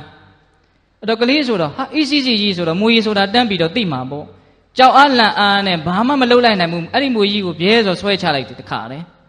ဆွဲချတော့အဲ့ဒီမွေကအောက်ကနေဆေးကူရမဲ့စိတ်နဲ့မျောလင့်ပြီးတော့ငွေရခြင်းနဲ့ရမက်နဲ့ကြည်နေတဲ့ဆေးဆရာရဲ့ခေါင်းပေါ်ကိုတဲ့တဲ့သွားကြတယ်။ အဲ့ဒီမှာအဲ့ဒီငွေကအဲ့ဒီဆေးဆရာရဲ့နှစ်ဖူးကိုပေါက်တယ်လို့ပြောတယ်။သူများကိုဆေးကူးခြင်းနဲ့ဆေးဆရာဒီသူ့ကိုယ်သူမကူလိုက်နိုင်ခင်မှာပဲအဲ့ဒီနားမှာငွေကတိတ်ပြီးတော့အစိတ်ပြင်းတော့ပွဲချင်းပြီးသိတယ်။အဲ့ဒီဆေးဆရာဒီအခုမုတ်ဆိုးပဲတဲ့။ဒါဦးဇင်းတို့ကစဉ်းစားကြည့်တယ်။အခုကောက်ကျစ်တဲ့လူဟာငကိုတုံးကလည်းကောက်ကျစ်ခဲ့တာပဲ။အခုကောက်ကျစ်အောင်မယ်ဆိုရင် နောင်လဲပဲကောက်ကျစ်တဲ့စိတ်တွေက ရှိနေနိုင်တယ်ဒီသင်္ကန်းသာလေးမရသင့်ဘူးလားဒါကြောင့်သာသနာနဲ့တွေ့တဲ့အခါမှာမိမိရဲ့မကောင်းတဲ့အကျင့်တွေကိုမဖြောက်ဘူးဆိုရင်နောက်တစ်ချိန်မှာအဲ့ဒီအကျင့်တွေကခေါင်းထောင်ထလာပြီးတော့မိမိကိုမနှိပ်စက်ပေဘူးလားနှိမ့်ဆက်မှာနှိပ်စက်မယ်အဲ့ဒီလိုမျိုးမိမိရဲ့မကောင်းတဲ့စိတ်တွေကတိတ်ပြင်းထန်လာရင်မသေးခင်မှာကိုပဲအကြီးအကျယ်ဒုက္ခဇိုးတွေနဲ့ရင်ဆိုင်စေတတ်တာကိုဒိဋ္ဌဓမ္မဝေဒနိယကံဟုတ်လားမှန်လားပါ ဘာကိုအခြေခံပြီးတော့ဖြစ်တာလဲမကောင်းသောစိတ်ဒါကြောင့်မကောင်းသောစိတ်သည်မသေးခင်မှာအကျိုးပေးတယ်ဒါကြောင့်သူသည်ယံသူဘယ်နှချက်ရှိသွားပြီလဲရှင်းပြတာနှစ်ချက်ဖြစ်စေမှာပူလောင်စေတယ်မသေးခင်မှာအကျိုးပေးမယ်ပြီးတော့ဗာပြောလိုက်လဲနိဗ္ဗာန်သေပြီးတဲ့နောက်တန်တရားတစ်လျှောက်လုံးနိဗ္ဗာန်မရမချင်းဒုက္ခပေးမယ်ပိဿပေါင်းသူတော်ကောင်းတို့ဗုဒ္ဓဘာသာဝင်တိုင်းလူလူသိပြီးသားအကြောင်းအရာလေးတစ်ခုကိုပြောမယ် သိပြီးသားကြီးဘာကိစ္စနဲ့ပြောမှာတော့ဥသိမ်းရဲ့လို့မမေးနဲ့ဟုတ်လားမှန်လားပါသူများသိပြီးသားကိုသူများမတွေးဘူးသေးတဲ့ရှုထောင့်ကနေနည်းနည်းလောက်ပြောကြည့်ခြင်းလို့တွေးဘူးတဲ့ပုံကိုယ်တွေလည်းပါကောင်းပါလိမ့်မယ်သို့တော့အတွေးနေတဲ့ရှုထောင့်ကနေတွေးကြည့်ပြီးတော့ပြောကြည့်မလို့နော်တခါယူမိုက်မြတ်မှန်လားပါဦးဇင်းတို့ကတ္တမမြတ်စွာဘုရားလက်ထက်ကယဟန်တော်တစ်ပါးရှိတယ်အကျမ်းမြင့်လေးပဲပြောမယ်တိပိသားဇလံသိတ်လေးရှင်းနေလို့မကြိုက်ဘူးနော်တခါကြီးမိုက်မြရွာတွေမှာကြောင်းထိုင်နေ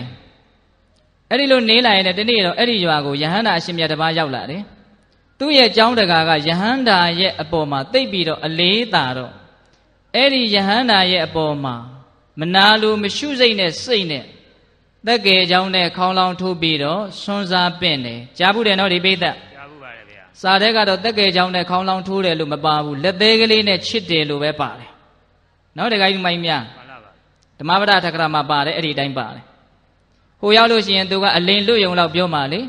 မင်းကသာအထင်ကြီးကိုးကွယ်နေတာပါကွယ်မင်းကြည်ညိုတဲ့ယဟန်ကငါခေါင်းလောင်းတွေထိုးတာတောင်မနိုးဘူးလို့ပြောရအောင်လို့ဟုတ်လားမှန်လားပါအဲ့ဒါနဲ့ကျောင်းတကာကဟိုမှာဆွန်းစားတော့ရှင်ဘုရားအဲ့ဒါလို့ဆိုရင်အဲ့ဒီအာဂါနုအတွက်ဒီဆွန်းကိုယူသွားပါဖေဟာကိုမုံတဲ့ပုဂ္ဂိုလ်စားဖို့အတွက်ကိုကိုယ်တိုင်ယူသွားရမယ်ဆိုတော့ပေးတတ်ရင်သိခံနိုင်သေးလားမသိခံနိုင်သီးမခံနိုင်တော့ဘူး အဲ့ဒီတော့ရွာပြင်မဲ့ရောက်ပြီဆိုတော့ဘာလုပ်တော့အဲ့ဒီဆွန်းတွေကိုသွန်ပစ်ခဲ့တယ်အဲ့ဒီမကောင်းတဲ့စိတ်ကလိုက်လာလိုက်တာတဖြည်းဖြည်းနဲ့လိုက်လာလိုက်တာဦးဇင်းတို့မြတ်စွာဘုရားလက်ထက်ကြတော့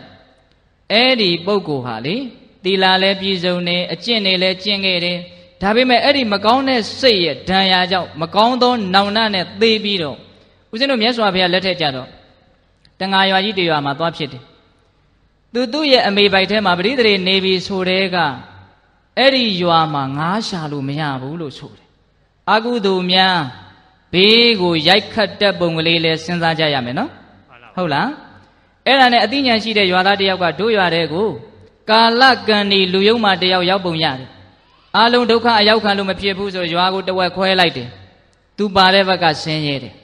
အဲ့ဒီတချမ်းကလည်း250စီခွဲလိုက်တယ်အင်ကြီးတစ်ထောင်ရှိတာကို တပြေးပြေးနဲ့ခွဲလာလိုက်တာသူတို့တအိမ်နဲ့ကြံတယ်အဲ့ဒီမှာအမေဖြစ်တဲ့လူကဒီကလေးကိုညှိုးညင်းစွာမွေးရတယ်နောက်ဆုံးမအေးဖြစ်တဲ့လူကိုအိမ်ကနေနှင်ချလိုက်တယ်သူရှိရင်လောက်ကင်စားတော့လို့မရဘူးအကုသိုလ်ရဲ့အပြစ်ကိုပေါ်လွင်အောင်ပြောနေတာနော်ဒကာကြီးမိုက်များမှန်လားပါဗျာဘဇုထိလိုက်ပြီးတော့နှိပ်စက်တာလေနီးဆက်ရနီးဆက်ရကိုလိုက်ပြီးတော့တောင်နှိပ်စက်တယ်မအေကိုနှိပ်စက်နေတာအဲ့ဒါနဲ့မအေဖြစ်တဲ့လူကတောင်းစားရင်လည်းသူပါရင်တောင်းလို့မရဘူး အဲ့ဒါနဲ့ဒီကလေးကိုဟောအိမ်ကတိတ်ပြီးတော့ရက်ရောတယ်ရော့ခွက်ကလေးပေးပြီးတော့သွားတောင်းကြည့်လို့ပြောတော့မအေကထွက်ပြေးရတယ်အဲ့ဒီအချိန်ကစပြီးတော့သူဝမ်းသူကြောင်းပြီးတော့မြေဘုတ်ဘီလူးလေးလို့ခေါင်းကသပင်ကလည်းဘုတ်တိုက်မျက်နှာကလည်းဘယ်သူမှတန်ရှင်းမပေးဘူးအင်ကြီးအဝတ်စားကလည်းအဆုပ်အပြက်အဖာအထေးသူများအိမ်ကဆေးကြောလိုက်တဲ့ထမင်းလုံးပေါက်ဟင်းလုံးပေါက်ကိုဇရက်တို့ကြီးတို့ကောက်စားတယ်လို့မျိုးစားရတယ်လို့ပြောတယ် အပူမပါဘူးဦးဇင်းပြောတဲ့စကားထဲမှာနော်တခါကြီးမိုင်းများမှန်လားပါဗျာအဲ့ဒီလိုစင်းစင်းရဲရဲမသေးယုံကလေးနေတာဒါပေမဲ့လို့သူ့ရဲ့အတွင်းတန်တာမှာလေဦးထဲမှာမီးထွန်းထားသလိုမျိုးအရဟတမေအရဟတဖို့ကိုရနိုင်တဲ့ဥပနိတ္တယဟာရှိန်ရှိန်တောင့်နေတယ်အထင်မသေးနဲ့နော်ဒကာကြီးဒီမိုင်းများမှန်လားပါလူကတော့ဟင်းလုံးပေါက်ထမင်းလုံးပေါက်ကောက်စားအဝိမရှိအစားမရှိမြေပုတ်ဘလူးလို့ဆင်းရဲနေပြီမလို့ အထဲထဲမှာတန်တရာဝိဆငိမ့်ပြီးတော့အထွတ်အထိပ်နိဗ္ဗာန်ကိုလေးချိန်တိုင်တိုင်အာယုံပြုတ်ဘူးပြီးတော့နောက်ဆုံးပြိဋိနိဗ္ဗာန်စံနိုင်တဲ့အစွမ်းတတ္တိသူ့ရဲ့အတွင်းတန်တမှာဘာဖြစ်နေလဲရှိနေတယ်ကောင်းတာကကောင်းတာတခဏပဲမကောင်းတာကလည်းမကောင်းတာတခဏပဲခုကမကောင်းတာကိုပြောနေတဲ့အခြေအနေနော်ဒကာကြီးမိုက်များမှန်လားပါဗျာအဲ့ဒါနဲ့နောက်ဆုံးတော့ရှင်သာရိပုတ္တရာကိုရောမြတ်ကြီးနဲ့တွေ့တယ်တနာလွန်းလို့သူ့ကိုကိုရင်ဝတ်ပေးတယ်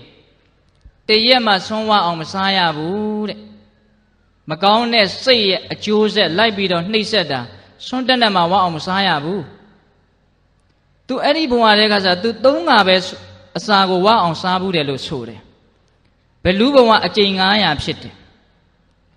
အဲ့ဒီဘလူးဘဝအကြိမ်900မှာမှတဘဝမှာမှတစ်နက်ပဲသူဝတယ်တဲ့အဲ့ဒါမိန်းမတယောက်ကမီးဖွားပြီးတော့စွန့်ပစ်လိုက်တဲ့ကိုယ်ဝင်အချင်းတွေကိုအဲ့ဒီဘီလူစားရတာလို့ဆိုတယ်ခွေးဘဝ900ဖြစ်တယ် တဘဝမှာမှတနက်ကိုပဲသူများရဲ့အံဘတ်ကိုဝအောင်စားရတယ်လို့ဆိုတယ်ပိဋကရေမကောင်းသောစိတ်ရဲ့အစွမ်းကိုပေါ်လွင်အောင်ပြောနေတာနော်မှန်လားပါဗျာမကောင်းသောစိတ်ကလေးဖြစ်တုန်းကတော့တည်ငါပဲတခဏပဲတရက်တောင်မကြာဘူးဒီမှာပေးဆက်နေရတဲ့ကိစ္စတွေကဆုံးနိုင်သလားဆုံးနိုင်ပါဗျာတော်တော်စိတ်ပြည့်စရာကောင်းတယ်နော်မှန်လားဒီလောက်ကြောက်စရာကောင်းတဲ့ရန်သူဘယ်မှာရှာလို့တွေ့မှလဲဟင်ဒကာကြီးဒီမိုင်မြတ်ဘယ်ရှာမှလဲဘယ်မှာမှရှာလို့မတွေ့နိုင်ဘူးဒါကြောင့်မကောင်းတဲ့စိတ်ကိုရန်သူလို့ပြောတာ ယဟန်ဘဝမှာဆွန်းတက်တက်မှာဝါအောင်မစားရဘူးဒါပေမဲ့လို့သူယဟန်နာဖြစ်တယ်ဥစဉ်အံ့ဩတာကိုဆက်ပြောမယ်ယဟန်နာဖြစ်သွားပြီကိလေသာအငြိကြီးလုံးဝတန့်ရှင်းလို့ပဂရိဖြူရှင်တဲ့တကယ့်ကိုအထွတ်အထိပ်ပုဂ္ဂိုလ်ဖြစ်သွားတာတောင်မှအာကုသိုလ်ကံအကျိုးပေးတွေကမရုပ်သိမ်းသေးဘူးတဲ့။ဘာဖြစ်တော့ဆွမ်းဝအောင်မစားရဘူး။ယဟန္တာဖြစ်နေတဲ့ဆွမ်းဝအောင်မစားရဘူး။ အဲ့ဒါကိုသူကသိတယ်။ဒီလိုနဲ့သူအသက်မရှိပါဘူးပြိဋိဘံဆန်တော့မယ်ဆိုတာသူသိတယ်။သိတော့သူ့ရဲ့ဆရာရှင်သာရိပုတ္တရာကိုရမြတ်ကြီးကိုရှောက်တယ်ရှင်ဘုရားတပည့်တော်ပြိဋိဘံဆန်တော့မယ်ဖေရ။ဒီတော့ရှင်သာရိပုတ္တရာကိုရမြတ်ကြီးကတပည့်ကိုအင်မတန်တနာတယ်။ငါတပည့်တစ်ခါမှဝအောင်မစားရဘူး။အဲ့တော့ဒီနေ့တော့ငါတပည့်ကိုဆွန်းကိုငါအဝကျွေးမယ်ငါနောက်ကလိုက်ခဲ့ဆိုပြီးတော့လောတကတိတ်တတဲ့ဒီနာမည်ကြားဘူးတဲ့နော်တခါကြီးမိုင်းများရဘူးပါ အဲ့ဒါနဲ့နောက်ကနေပြီးတော့ခေါ်သွားတယ်အခါတိုင်းလောင်းနေကြအိမ်တွေကလုံးဝအမှတ်မရဘူးတဲ့ရှင်သာရိပုတ္တရာတောင်ဆွမရဘူးဘဇုရဲ့အကုသိုလ်ကနှိပ်စက်နေတာလေနောက်ကလိုက်လာတဲ့ပုဂ္ဂိုလ်ရဲ့လွန်ငယ်သောဘဝပေါင်းများစွာကဖြစ်ခဲ့တဲ့မကောင်းသောစိတ်ကလေးကလိုက်ပြီးတော့နှိပ်စက်နေတာရှင်သာရိပုတ္တရာတောင်မှရိုက်ခတ်နေတယ်အဲ့ဒါနဲ့ငါရှင်ငါရှင်ပါလာရင်တော့ငါဆွမ်းရမှာမဟုတ်ဘူးသွားဟိုဇေယဘောကနေထိုင်ပြီးတော့စောင့်နေ ငါဆွမ်းခံပြီးတော့တင့်တီကိုပို့လိုက်မယ်ဆိုပြီးတော့ကြွသွားတယ်အဲ့ဒီကြမှာသူဆွမ်းရတယ်အဲ့ဒါတကားတယောက်အိမ်မှာဆွမ်းဖုံးပြီးပြီးတော့ဆွမ်းနေဟင်းနေအပြည့်ထည့်ပြီးတော့အဲ့ဒီအိမ်မှာရှိတဲ့တကားတွေကိုတကားကြီးတို့ဇေယပေါ်မှာယဟန်တော်တစ်ပါးထိုင်နေတာရှိလိမ့်မယ်သွားပြီးတော့ဒီဆွမ်းကိုကတ်ချီလို့ခိုင်းလိုက်တယ်အဲ့ဒီမှာတကားနှစ်ယောက်ကတပိတ်ကလေးထမ်းပြီးတော့ဆွမ်းကတ်လာကြတယ်ဇေယပေါ်ရောက်တော့ကိုတော်ကရှာလို့မတွေ့ထိုင်နေတာတော့ငုတ်တုတ်ပဲအဲ့ဒီလူတွေရဲ့မျက်လုံးလေးလုံးထဲမှာ တလုံးမှမှအဲ့ဒီယဟန်ကိုမမြင်ရဘူးဘယ်သူကွယ်ထားတာလဲပေတရေးဘယ်သူကွယ်ထားတာတော့အမှန်ပြောစမ်းမမကောင်းတဲ့စိတ်ကကွယ်ထားတာဟုတ်လားတခါကြီးမိုင်းမြအေးဆန်းတယ်နော်ဆန်းတယ်နော်လောကကြီးဟာသိဆန်းတယ်ဒါကိုကမ္မဝိပါကောအစိန်တေယောကံကြိုးပေးသည်မကြံစီနိုင်လောက်အောင်နဲ့နဲတယ်ကျေပြန့်တယ်မြတ်စွာဘုရားရဲ့ဉာဏ်လည်းအစိန်တေရကံကလည်းအစိန်တေရဟုတ်လားတခါကြီးမိုင်းမြ အဲ့ဒါနဲ့အဲ့ဒီပုဂ္ဂိုလ်တွေကဟာဒီယဟန်တော်ပြန်ကြွသွားပြီနဲ့တူတယ်အဲ့တော့မဖြစ်ပါဘူးဆိုပြီးတော့အဲ့ဒီဇဲအောက်ဆင်းပြီးတော့အဲ့ဒီဆွန်းနေဟင်းနေသူတို့နှစ်ယောက်ပဲအကုန်စားပြစ်တယ်ဟိုကယဟန်နာဆိုတော့ဟေးငါ့ဘုယူလာတာငါပေးကြလို့လည်းမပြောဘူးပေးတဲ့ဇဲပေါ်မှာဒီတိုင်းပဲထိုင်နေတာနော်သူမှလည်းအလိုဆန္ဒဘာမှမရှိတော့ပါဘူးတိတ်မြတ်နိုးစရာကောင်းတဲ့အနေအထားကိုရောက်နေပါပြီဟုတ်လားအဲ့ဒါနဲ့သူအကြောင်းပြန်ကြွသွားတယ်ဆွမစားရ ရှင်သာရိပုတ္တရာကိုရမြတ်ကြီးကတော့တပိဋ္ဌိပါတွေဆေးလာတော့ဆွမ်းစားရတဲ့ထင်းနေတာအဲ့ဒါနဲ့ကြောင်းပြန်ရောက်ပြီဆိုတော့ငါရှင်ဆွမ်းဝရလားရှင်ဘုရားတပည့်တော်ဆွမ်းမဖုံးပေးရသေးဘူးဖေရနေကိုမော့ကြည့်လိုက်တယ်နေမွန်းလွဲသွားပြီစိတ်မကောင်းဘူးတဲ့ဓမ္မတန်ဝေကရှင်သာရိပုတ္တရာကိုရမြတ်ကြီးမှာဖြစ်တယ်ဒေါသဖြစ်တာမဟုတ်ဘူးနော်ယဟန္တာဒေါသပေပြီးသားဘာလို့သုံးနှုံးလိုက်တယ်လဲဓမ္မတန်ဝေကကြီးကျယ်စွာဖြစ်တယ် အဲ့ဒါနဲ့ဘာလို့တုံးဆိုတော့ငါရှင်ခဏဆောက်ကောသလမင်းကြီးနန်းတော်ကိုသွားပြီးတော့စတုမတုသွားပြီးတော့အလှခံတယ်စတုမတုတွေရလာပြီဆိုတော့မှကိုင်ငါရှင်ဖုံးပေးဆရာကိုယူသေးတဲ့စိတ်နဲ့မစားရဘူးဟိုကလက်နဲ့ကင်ထားတာရှင်သာရိပုတ္တရာကိုရောမြတ်ကြီးကငါရှင်ဖုံးပေးမစားရဘူးစားပါတဲ့တကယ်လို့ငါလက်လွတ်လိုက်ရင် ဒီစပိတ်ထဲကစတုမတုတွေဟာပျောက်ချင်ပျောက်သွားနိုင်တယ်တဲ့ပိဋကရေဘာနဲ့ကင်ကျွေးရတာလဲလက်နဲ့ကင်ကျွေးရတဲ့အနေအထားအဲ့ဒီတနက်ပဲဝတယ်တဲ့အဲ့ဒါဖုံးပေးပြီးတော့ပြိဋိဘံစံတာပဲဒါကြောင့်ဘေးသက်ပေါင်းသူတော်ကောင်းတို့မကောင်းတဲ့စိတ်ဆိုတာမသေးခင်တန်တရားတစ်လျှောက်လုံးလိုက်ပြီးတော့ဘာဖြစ်လဲဒုက္ခပေးတယ်ဓမ္မပဒပါဠိတော်မှာလေဦးဇင်းတို့ပထမဦးဆုံးယမကဝက်ဆိုတာရှိတယ်အဲ့ဒီမှာလာတဲ့ဂါထာလေးတစ်ပုဒ်ရွတ်ပြမယ် မနောပုပ္ပင်္ဂမဓမ္မမနောတိဋ္ဌမနောမေယံမနတ္တာစီပဒုဋ္ဌိနာဘာတတိဝါကရောတိဝါတတောနံဒုက္ခမနွေတိစကံဝါဝဟာတောပဒံပဒုဋ္ဌိနကြံထံသောမနတ္တာစိတ်ဖြင့်ဝါယုတ်မာသောစိတ်ဖြင့်စေဘာတတိဝါအကယ်၍ပြောမှုလေပြောညာစေကရောတိဝါအကယ်၍ပြုမှုလေပြုညာ တတော်ထိုကဲ့သို့မကောင်းတဲ့စိတ်ယုံမှနဲ့ပြောကြတဲ့ပြုကြတဲ့ပုဂ္ဂိုလ်တွေထိုကဲ့သို့ပြောကြပြုကြတဲ့အတွက်ကြောင့်နံထိုကဲ့သို့မကောင်းသောစိတ်နဲ့ပြောပြကြတဲ့ပုဂ္ဂိုလ်တွေရဲ့နောက်ကိုဒုက္ခဆင်းရဲဒုက္ခသည်အနွေတိအစဉ်လိုက်တယ်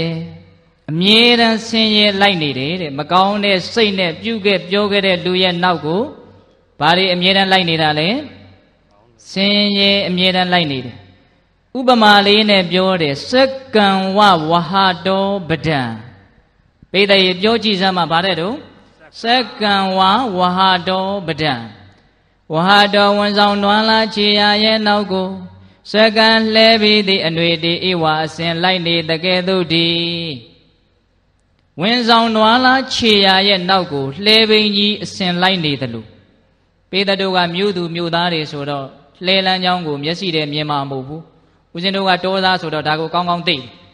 နွားကရှေ့ကနေယုံသွားတော့လှဲပင်ကနောက်ကအီအီအီနဲ့လိုက်ပြီးတော့ဘာလုပ်တယ်လဲ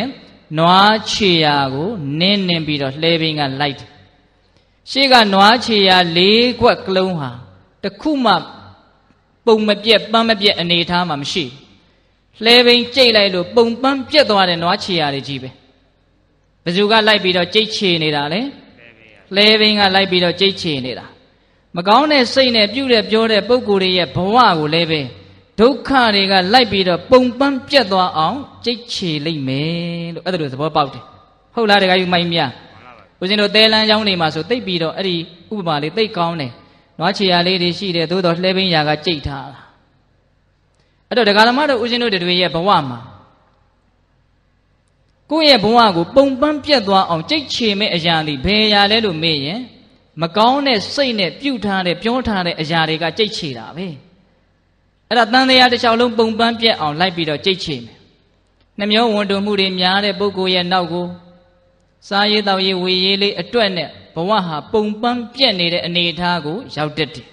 ဟုတ်လားတခါယူမိုက်မြသီလပျက်စီးလောက်အောင်အခြေအနေဆိုးခဲ့တဲ့ပုဂ္ဂိုလ်များဘဝတန်တရားမှာအသက်ရှင်ရေးအတွက်နဲ့ကြောက်ကြပူပန်နေရတဲ့အနေအထားမျိုးရောက်အောင်ပုံပန်းပြက်အောင် မကောင်းတဲ့စိတ်တွေကနှိပ်စက်လိမ့်မယ်တချို့မျက်လုံးမရှိဘူးတချို့နာကန်းနေတယ်လက်တွေခြေတွေဖြစ်တယ်ဟာအမျိုးမျိုးဒုက္ခတွေဒါဘယ်သူကနှိပ်စက်တာတီလပျက်စီးလောက်အောင်မိမိရဲ့ညံ့ဖျင်းမှုကလိုက်ပြီးတော့ကြိတ်ချေနေတာကြောက်စရာမကောင်းဘူးလားတခါကြီးဒီမိုက်မြအေးဒါကြောင့်စက္ကံဝဝဟာတောပဒံနွားခြေရာကိုလိုက်ပြီးတော့ကြက်ခြေတဲ့လှဲဘင်းလို မကောင်းတဲ့စိတ်သည်မိမိရဲ့ဘဝကိုပုံပန်းပြက်အောင်ကြိတ်ချေလိုက်မယ်လို့တတိတံဝေကမရတဲ့မို့လားရတဲ့နေဒါကြောင့်မကောင်းသောစိတ်ဆိုရင်ပိဋကပေါင်းသူတော်ကောင်းတို့ယံသူလို့နားလည်ပြီးတော့မကြောက်တဲ့မူလားမယွန်းတဲ့မူလားယွန်းတဲ့နေသူကလွဲလို့ကြောက်เสียတခြားမရှိဘူးเนาะတခါကြီးမိုင်းမြမကောင်းသောစိတ်တည်တာရင်ကြောက်เสียအကောင်းဆုံးပဲလောကမှာသူကလွဲလို့တခြားမိမိကိုဒုက္ခပေးနိုင်တဲ့အရာထိထိရောက်ရောက်ဘယ်အရာမှမရှိဘူး မကောင်းသောစိတ်တည်တာရင်မိမိဘဝကိုပုံပန်းပြည့်စေတယ်ဆင်းရဲစေတယ်အသေးမဲ့စေတယ်အရှက်ကွဲစေတယ်မကောင်းသောစိတ်ရဲ့ဆိုးကျိုးအနန္တကိုဦးဇင်းတို့ရဲ့အစွမ်းနဲ့ကုံအောင်ပြောနိုင်မှာမလားပြောနိုင်ပါဘူးပိဋကတို့ပြောနိုင်မှာမလားပြောနိုင်ပါဘူးဒီနေ့တညာလုံးပြောလဲကုံမှာမလားကောပါဘူးမကုံဘူးမကုံဘူးဆိုရင်တော့မကုံမဲ့အတူတူတော့အတူကျုပ်ပဲပြောကြစို့ဟုတ်လားတခါကြီးမိုင်းမြမှန်လားဒါကြောင့်မကောင်းတဲ့စိတ်ဆိုလို့ရှိရင်မိမိတန်တာမှာ နည်းနည်းလေးတော့မှလည်းပဲမဖြစ်စေသင့်ဘူးမဟုတ်လားတကယ်တမ်းကတော့ဖြစ်စေသင့်ပါနတ်တုတ်တာလောက်ကောင်းတဲ့အစားအစာပေးမယ်လို့မစင်လေးတရွေးသားလောက်ကြာသွားရင်ဘာဖြစ်သွားလဲကောင်းတော့ပျက်စီးသွားတာနည်းနည်းလေးဆိုပေမဲ့လို့အထင်သေးရဘူးဆိုတာကိုပြောပြဟုတ်လားတခါကြီးမိုင်းမြမှန်ပါပါအေးဒါနဲ့ပတ်သက်ပြီးတော့ပေးသက်ပေါင်းသူတော်ကောင်းတို့ဦးဇင်းတို့တွေပညာရှိသူတော်ကောင်းကြီးတို့ရဲ့အမှုအကျင့်ကိုနည်းနည်းလောက်နီးယူရအောင်ပြောပြမ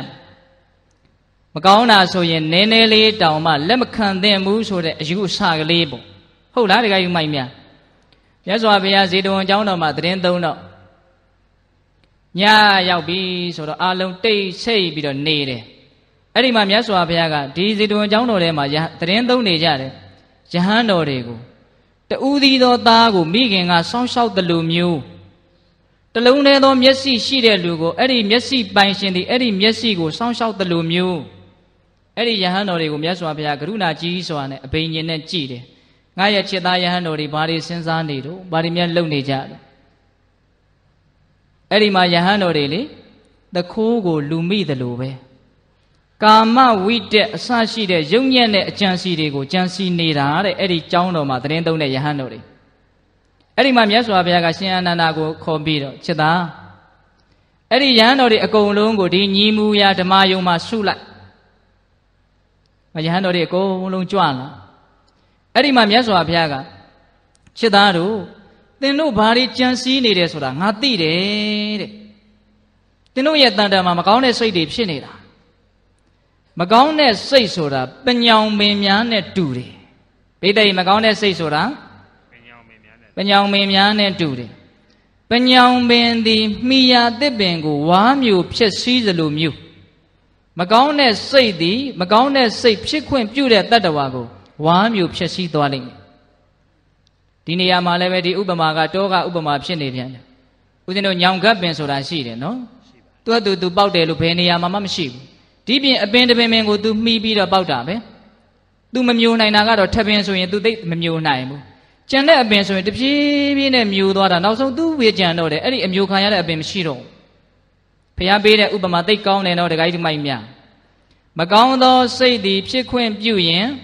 ပညောင်ပင်သည်မိယာတစ်ပင်ကိုဝါမြူသွားသလိုမျိုးမကောင်းသောစိတ်ပိုင်ရှင်တတ္တဝါကိုဘာလုပ်သွားမှလဲဝါမြူသွားမယ်ဒါကြောင့်သင်တို့မကောင်းတဲ့စိတ်တွေကိုမဖြစ်စေသင့်ဘူးရှေးပညာရှိများသည်အရှိမျောမြင်ပြီးတော့မကောင်းတဲ့စိတ်ကိုဆက်ဆုပ်တော်မူကြတယ်ဆိုပြီးတော့ဦးဇင်းတို့ ကောတသိမ့်ပလဇတ်ဆိုပြီးတော့ဇတ်တော်တစ်ခုဟောထားတာရှိအကြံမြင်လေးပဲပြောမယ်အဲ့ဒီဇတ်တော်မှာဦးဇင်းတို့ရှင်သာရိပုတ္တရာကိုတော်မြတ်ကြီးရဲ့အလောင်းက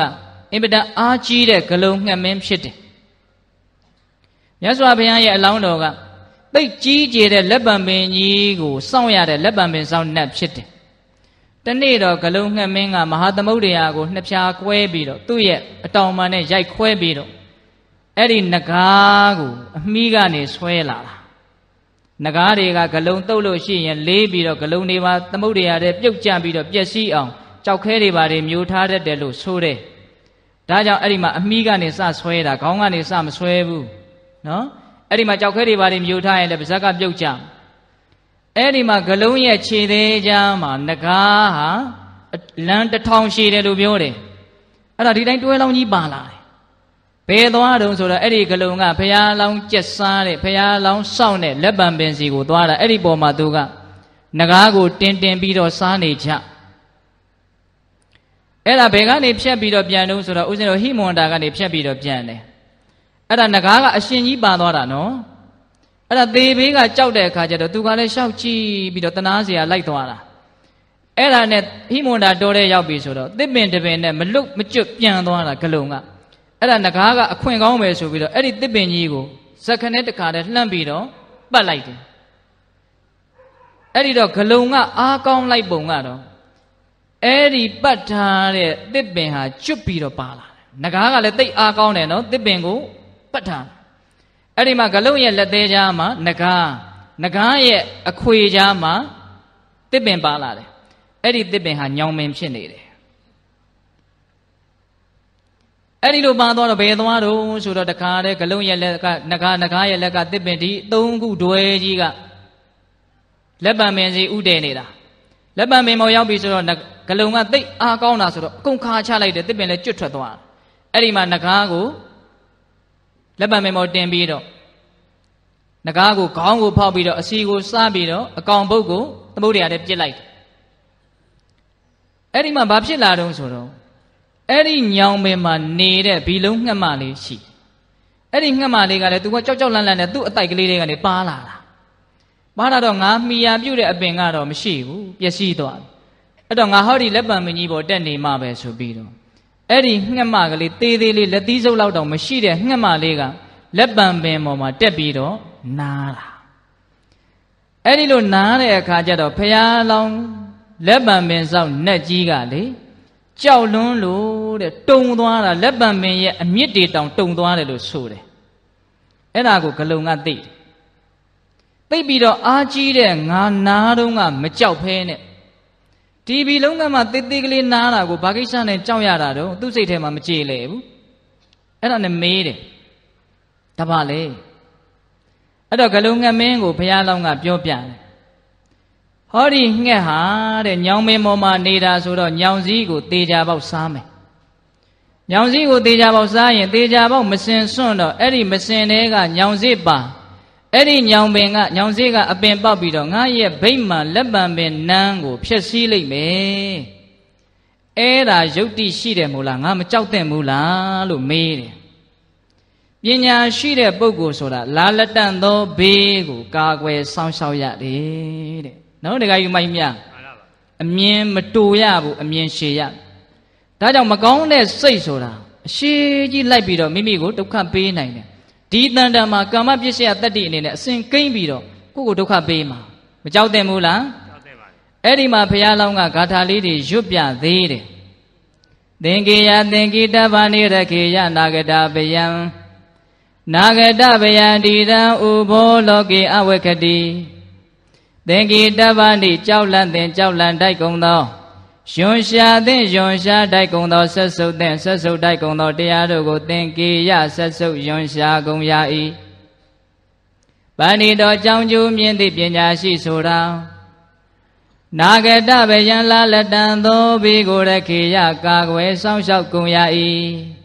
ပညာရှိဆိုတာလာလတံသောဘိကိုကာကွယ်စောင့်ရှောက်ရမယ်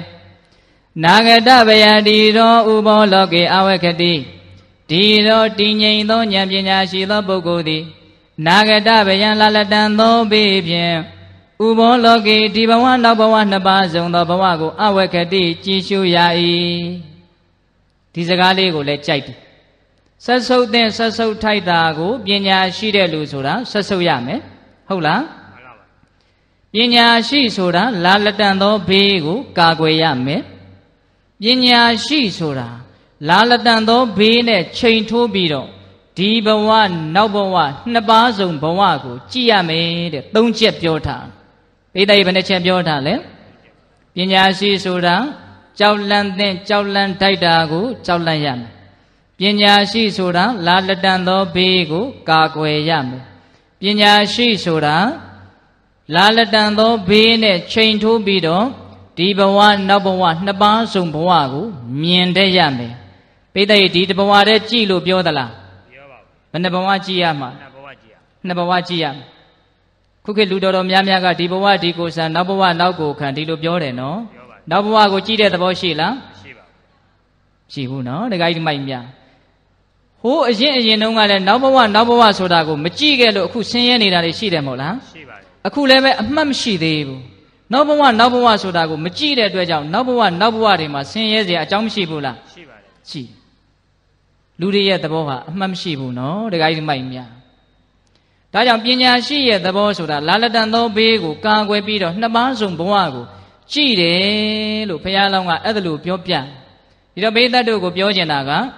မကောင်းသောစိတ်ဆိုတာယွန်ရှာဆက်ဆုပ်ဖွယ်ကောင်းတယ်သေးသေးလေးပေတော့မလို့ မထေမဲ့မြင်မပြုတ်တဲ့မူဟုတ်လားအေးဒါဘာနဲ့ပတ်သက်ပြီးတော့ပြောတာလဲရန်သူနဲ့ပတ်သက်ပြီးတော့ပြောတာ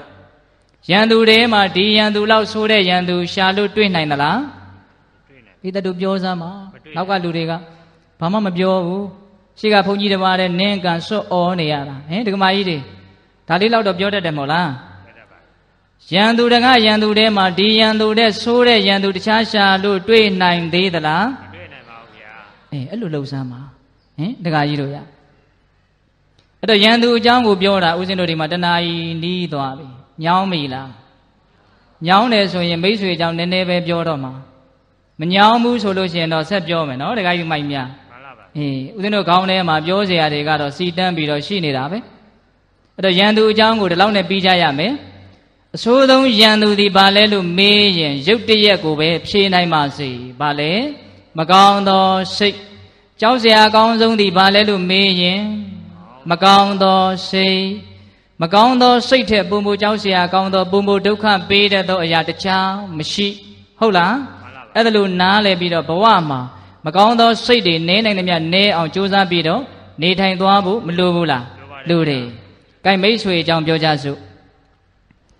နာဓမ္မာတာပိတာကိရာယေဝပိစ္ဆာညာတကသမ္မာပဏိဟိတံစိတ်တံတေယသောနံတတောကတိတန်ဒုက္ခထိုလူနဲ့နိဗ္ဗာန်သုံးတန်သောချမ်းသာကိုမာတာမိခင်သည်နာကိရာထပြုလို့၍မပေးနိုင်ကုန်ပိတာဖခင်သည်နာကိရာပြုလို့၍မပေးနိုင်ကုန်အင်းကြီးပိမိခင်ဖခင်ကျေးဇူးရှင်တို့မှာတပါးဖြစ်ကုန်သော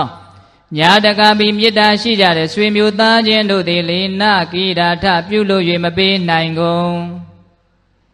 ချမ်းသာစိတ်ချမ်းသာမှန်ကိုအမေကလည်းမပေးနိုင်ဘူး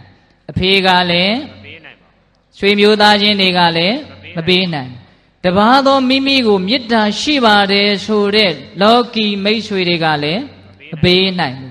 ဘူးဘသူကပေးနိုင်တယ်လေအဖေအမေတဲ့အားကိုးရတဲ့အရာကဘာလဲဒါလေးကိုပြောမယ် သမ္မာပဏိဟိတံစိတ်တံတေယသောနံတတောကတိသမ္မာပဏိဟိတံကောင်းစွာသောက်တည်၍ထအပ်သောစိတ်တံကုသိုလ်စိတ်တို့သည်ဝါကောင်းသောစိတ်တို့သည်မွန်မြတ်သောစိတ်တို့သည်နတ်ထုမွန်မြတ်တဲ့စိတ်ပိုင်ရှင်ကိုတတော်အမေအဖေကျေးဇူးရှင်တို့ထက်ဝါမိမိကိုမေတ္တာရှိကြတဲ့မိတ်ဆွေတို့ထက်သေရသောချမ်းသာအောင် မြင့်မြတ်အောင်ဂရိကရိယပြုနိုင်ပေ၏အမေဖေကကောင်းစေတာထက်ပူမူ၍ကောင်းစေသောအရာမိမိကိုမေတ္တာရှိကြတဲ့တခြားသောပုဂ္ဂိုလ်တွေကမိမိကိုကောင်းစေတာထက်မိမိကိုပူမူ၍ကောင်းစေသောအရာအဲ့ဒါပါလေအဲ့ဒါပါလေကောင်းသောစိတ်ပြောကြည့်စမ်းပါပါတော့ကောင်းသောစိတ်ပါစိတ်တော်စိတ်ပဲခုနတုန်းကပြောခဲ့တာကဘာလဲ မကောင်းသောစိတ်မကောင်းသောစိတ်ဆိုတာဘာလဲလို့ဦးဇင်းတို့အကျယ်မပြောဘူးပေးသက်သိပြီးသားပဲဟုတ်လားကောင်းသောစိတ်ဆိုတာကိုအကျယ်ပြောစရာလိုသလားမလိုပါဘူးစိတ်ကောင်းနှလုံးကောင်းပေးကမ်းနိုင်တယ်စောင့်စည်းနိုင်တယ်အမှန်ကန်သိအောင်တည်ငြိမ်အောင်ကြိုးစားနိုင်တယ်အလောဘအဒေါသအမောဟစိတ်တွေမေတ္တာတရားတွေသီးခံခြင်းတွေအရက်လိုရိုးရိုးလေးနားလည်ထားရင်ပြီးတာပဲမဟုတ်လားအဲ့ဒါဘာတွေလဲ ကောင်းတဲ့စိတ်ကူညီခြင်းနဲ့ဖေးမခြင်းနဲ့မေတ္တာတရားတွေကြီးတယ်ဘာတွေလဲကောင်းတဲ့စိတ်ပေးခြင်းနဲ့ကမ်းခြင်းနဲ့ဝေခြင်းနဲ့မျှခြင်းနဲ့အတ္တမကြီးဘူးအဲ့ဒါဘာလဲကောင်းတဲ့စိတ်ဟုတ်လားတခါကြီးမိုင်းမြမှန်လားပါမနာလိုတာတွေမရှိဘူးသူများကြီးပွားရင်မုဒိတာဖြစ်နိုင်တယ်ဘာလဲကောင်းတဲ့စိတ်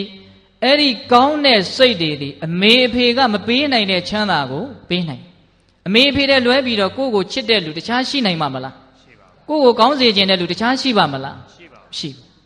အဲ့ဒီလောက်ကြီးကျယ်တဲ့မေတ္တာရှင်တွေထက်တောင်မိမိကိုကာကွယ်စောင့်ရှောက်မဲ့အရာတွေပါလေကောင်းသောစိတ်ကောင်းသောစိတ်အဲ့ဒီကောင်းသောစိတ်ကိုလည်းဦးဇင်းတို့အချက်၃ချက်နဲ့ပြောမယ်ပေးတတ်တို့ကဒီလောက်ဆိုလို့ရှိရင်ရိမ့်မိနေပါရော့မယ်ဘာကြောင့်ကောင်းသောစိတ်ကိုအကောင်ဆုံးအမြင့်မြတ်ဆုံးမိတ်ဆွေလို့ပြောရသလဲ အကြောင်းဘယ်နှချက်နဲ့ပြောမှာလဲသုံးချက်နဲ့သုံးချက်နဲ့ပြောမယ်နော်ဖြစ်စေမှာအေးချမ်းစေတယ်မသေးခင်ဒီဘဝမှာကိုပဲချမ်းသာစေတယ်သေဆုံးပြီးသေချာမဲ့မှာနိဗ္ဗာန်မရှာမရှင်တန်တရားတစ်လျှောက်လုံးအရေးတပွဲလိုက်လို့အေးချမ်းစေမယ်ဘယ်နှချက်လဲသုံးချက်ပါဖြစ်စေမှာအေးချမ်းစေမယ်သက်သာစေမယ်ငြိမ်စေမယ်ငြိမ်စေမယ်ဟုတ်လားမှန်လားပါ ဒီဘဝမှာကောင်းတဲ့စိတ်တွေကိုကြီးထွားအောင်မွေးမြူလာမယ်ဆိုရင်ကောင်းတဲ့ဘက်ကဒိဋ္ဌဓမ္မဝေဒနိယကံဒီဘဝရင်ကြိုးပေးမယ်။မောင်ပုံနာတို့ထဲခဲတွေကနေရွှေဖြစ်သွားတဲ့ကံမျိုးကိုပါခေါ်လဲဒိဋ္ဌဓမ္မဒိဋ္ဌဓမ္မဝေဒနိယကံဟိုသာစီနေမှာလေဥကျော်စံတော်ဦးတဲ့တက္ကကြီးတက္ကမကြီးတို့ရဲ့နာမည်ကအင်မတန်စေတနာကောင်းတယ် ရွာထဲမှာရှိတဲ့လူတွေကိုစီကြီးပြောကြီးတီးပြီးတော့အလူကြီးအကြီးအကျယ်သူများသိအောင်လုပ်တာမျိုးတော့မဟုတ်ဘူး။ဘာလုပ်တယ်လဲ။စီမရှိရင်လာတောင်းလှက်။သမင်းချက်စရာမရှိရင်ဆန်းလာတောင်းလှက်။တောင်းကျင်တဲ့လူလာတောင်းလှက်ချက်စရာမရှိဘူးဆိုပေးလိုက်တယ်။လူတိုင်းလာတောင်းလို့ရတယ်။အဲ့ဒီလိုစေတနာမျိုးထားနိုင်တဲ့လူဆိုတာရှားတယ်နော်။ပုထုဇဉ်ဆိုတာသိပြီးတော့အတ္တကြီးတယ်ကိုလုတ်တာကိုသူများသိဖို့ကအင်မတန်အရေးပါတဲ့အခန်းကဏ္ဍမှာရောက်နေတယ်ဟုတ်လားတခါကြီးမိုက်မြဟုတ် အဲ့ဒါလောက်ဘယ်သူသိသိမသိသိကုညီရရင်ပြီးရောဒီလောက်မွန်မြတ်တဲ့စေတနာတွေကသိပ်ကြီးကျယ်တော့အဲ့ဒီတခါကြီးတခါမကြီးတို့ရဲ့အိမ်ထဲမှာရှိတဲ့စီအိုးတွေဟာလေဝေကြတယ်လို့ဆိုတယ်ဒါတကယ်အဖြစ်ပြက်လောက်ကြံပြီးတော့ပြောတာမဟုတ်ဘူးဟုတ်လားတခါကြီးတခါမကြီးများဒီဘဝတွင်ကိုပဲအကျိုးပေးပုံကလေးကိုပြောပြဟုတ်လားမှန်လားပါအခုဖြစ်ရင်အခုအေးတယ်အခုတက်တာတယ် ရင်ငတ်နေတဲ့လူရေတောက်လိုက်လို့အစာပြေသွားသလိုမျိုးနေပူတဲ့ကလာတဲ့လူတိတ်ကြီးကျယ်တဲ့အရိတ်သစ်ပင်ရိတ်ကြီးမှာဝင်နာလိုက်ရသလိုမျိုးကောင်းတဲ့စိတ်ဆိုတာအဲ့ဒါလိုအေးချမ်းစေတယ်ပြစ္ဆုတ်ပံမှာဖြစ်ဆဲမှာအေးချမ်းစေတယ်ဒီဘဝမှာကိုပဲအကျိုးပေးမယ်တန်တရားတစ်လျှောက်လုံးလိုက်ပြီးတော့အေးချမ်းစေမယ်ဘယ်နှချက်လဲသုံးချက်ပါအေးကောင်းတဲ့စိတ်လေးတွေကုသိုလ်ပြုရတာနောက်ဘဝမှာချမ်းသာမှာလို့ဒီလိုမပြောပါဘူး နောက်ဘဝလည်းချမ်းသာမယ်ဒီဘဝပူလို့ချမ်းသာဒိဋ္ဌေဝဓမ္မေဒုက္ခံဝိဟရတိတဲ့ကုသိုလ်ဆိုတာအခုဖြစ်ဆဲမသေးခင်မှာအခုကိုပဲကောင်းတယ်ဒီဘဝမှာကိုပဲချမ်းသာပေတပေါင်းသူတော်ကောင်းတို့ရောဟိနီဆိုတာကြားဘူးလားအရှင်အနုရုဒ္ဓမထေရမြတ်ကြီးရဲ့ညီမတော်တယ်လေရောတယ်ဟောဟိနီမင်းသမီးဆိုတာကြားဘူးတယ်မဟုတ်လားကြားဘူးပါတယ်တကူလုံးဘာဖြစ်နေတာလဲအလူယောဂဖြစ်နူနာယောဂဆွဲကပ်နေတာ အရင်ဘဝတုန်းကမိဖုရားဖြစ်တုန်းကမနာလိုတဲ့စိတ်နဲ့မိဖုရားငယ်လေးရဲ့အပေါ်မှာမကောင်းတဲ့အကြံတွေကြံခဲ့လို့နူနာယောဂဆွဲကပ်နေတာမကောင်းတဲ့စိတ်ရဲ့အကျိုးဆက်ကိုလဲဆင်းပြီးတော့ခံနေရတာဖြစ်နေတာကမင်းသမီးရွှေမရှားငွေမရှားသို့တော့ခန္ဓာကိုယ်ကဘာဖြစ်နေတုံးအရေးပြားယောဂဆွဲနေတယ်လူတွေထွက်လို့ရသေးလားမရပါဘူးဘလောက်စိတ်ဆင်းရဲမလဲကိုချင်းစာကြည့်နော်တခါယူမိုက်မြ ဒီလက်ခေါက်တို့မျက်နာပေါ်မှာခယူသင်းအကွက်ကလေးတစ်ခွက်လောက်မြန်ထင်မယ်ဆိုရင်ဘယ်လိုခံစားရမလဲဦးသင်းတို့ရွာမယ်ရှိတယ်အဲ့ဒါလိုဖြစ်လို့ရှက်ပြီးတော့အိရာလည်းလဲပြီးတော့သေဆုံးသွားတယ်ဘာပြောတာလဲမကောင်းတဲ့စိတ်ရဲ့အကျိုးဆက်ဆိုတာကြောက်စရာကောင်းတယ်ဒီကကိုရုံမထွက်နိုင်ပဲဖြစ်နေတယ်ဟုတ်လားကောင်းတဲ့စိတ်ကိုသွားကြရအောင်နော်တခါယူမိုက်မြခုအဲ့ဒီရောဟိနီဟာအဲ့ဒါလိုလူချမ်းမထွက်ရဲမပြူရဲအဲ့ဒီမှာရှင်အနုဒေါတာမထေရမြတ်ကြီးနောင်တော်ကြီးမောင်တော်ကြီး နန်းတော်ကိုရောက်လာတော့သူတို့ရဲ့တိုင်းပြည်ကိုရောက်လာတော့ထွက်ပြီးတော့မဖူးရဲရှာမျိုးသမီးတွေဆိုတော့လှလဲလှချင်တာဆိုတော့ပိုဆိုးတာပေါ့အဲ့ဒီမှာမေးတယ်ညီမလေးကိုနုနာယောဂဆွဲကပ်နေလို့လာမကြော့နိုင်ဘူးဗျလွတ်လိုက်ပါအဲ့ဒီမှာတရားအထက်မျက်ရည်တွေနဲ့ရောက်လာတယ်ရောက်လာတော့ဒီနာယောဂါတွေကပျောက်လို့ချမ်းသာအောင်ငါညီမကိုကိုကြီးကနီလံပေးမယ်ဆွမ်းစားကြောင်းဆောက်ပြီးတော့လှူ ရေအိုးစဉ်တဲရေထက်ဓမျက်စေးလဲတန့်ရှင်းအောင်လုပ်အချင်းချုပ်လေးပဲပြောမယ်နော်တခါကြီးဒီမိုက်မြမှန်လားပါအဲ့ဒါလို့ခိုင်းတဲ့အခါကျတော့ညီမကပတ်စံမရှိဘူးဆိုတော့မင်းမလက်ဝတ်လက်စားတွေရှိပါတယ်တဲ့အဲ့ဒါတွေဝင့်နေလို့မင်းမ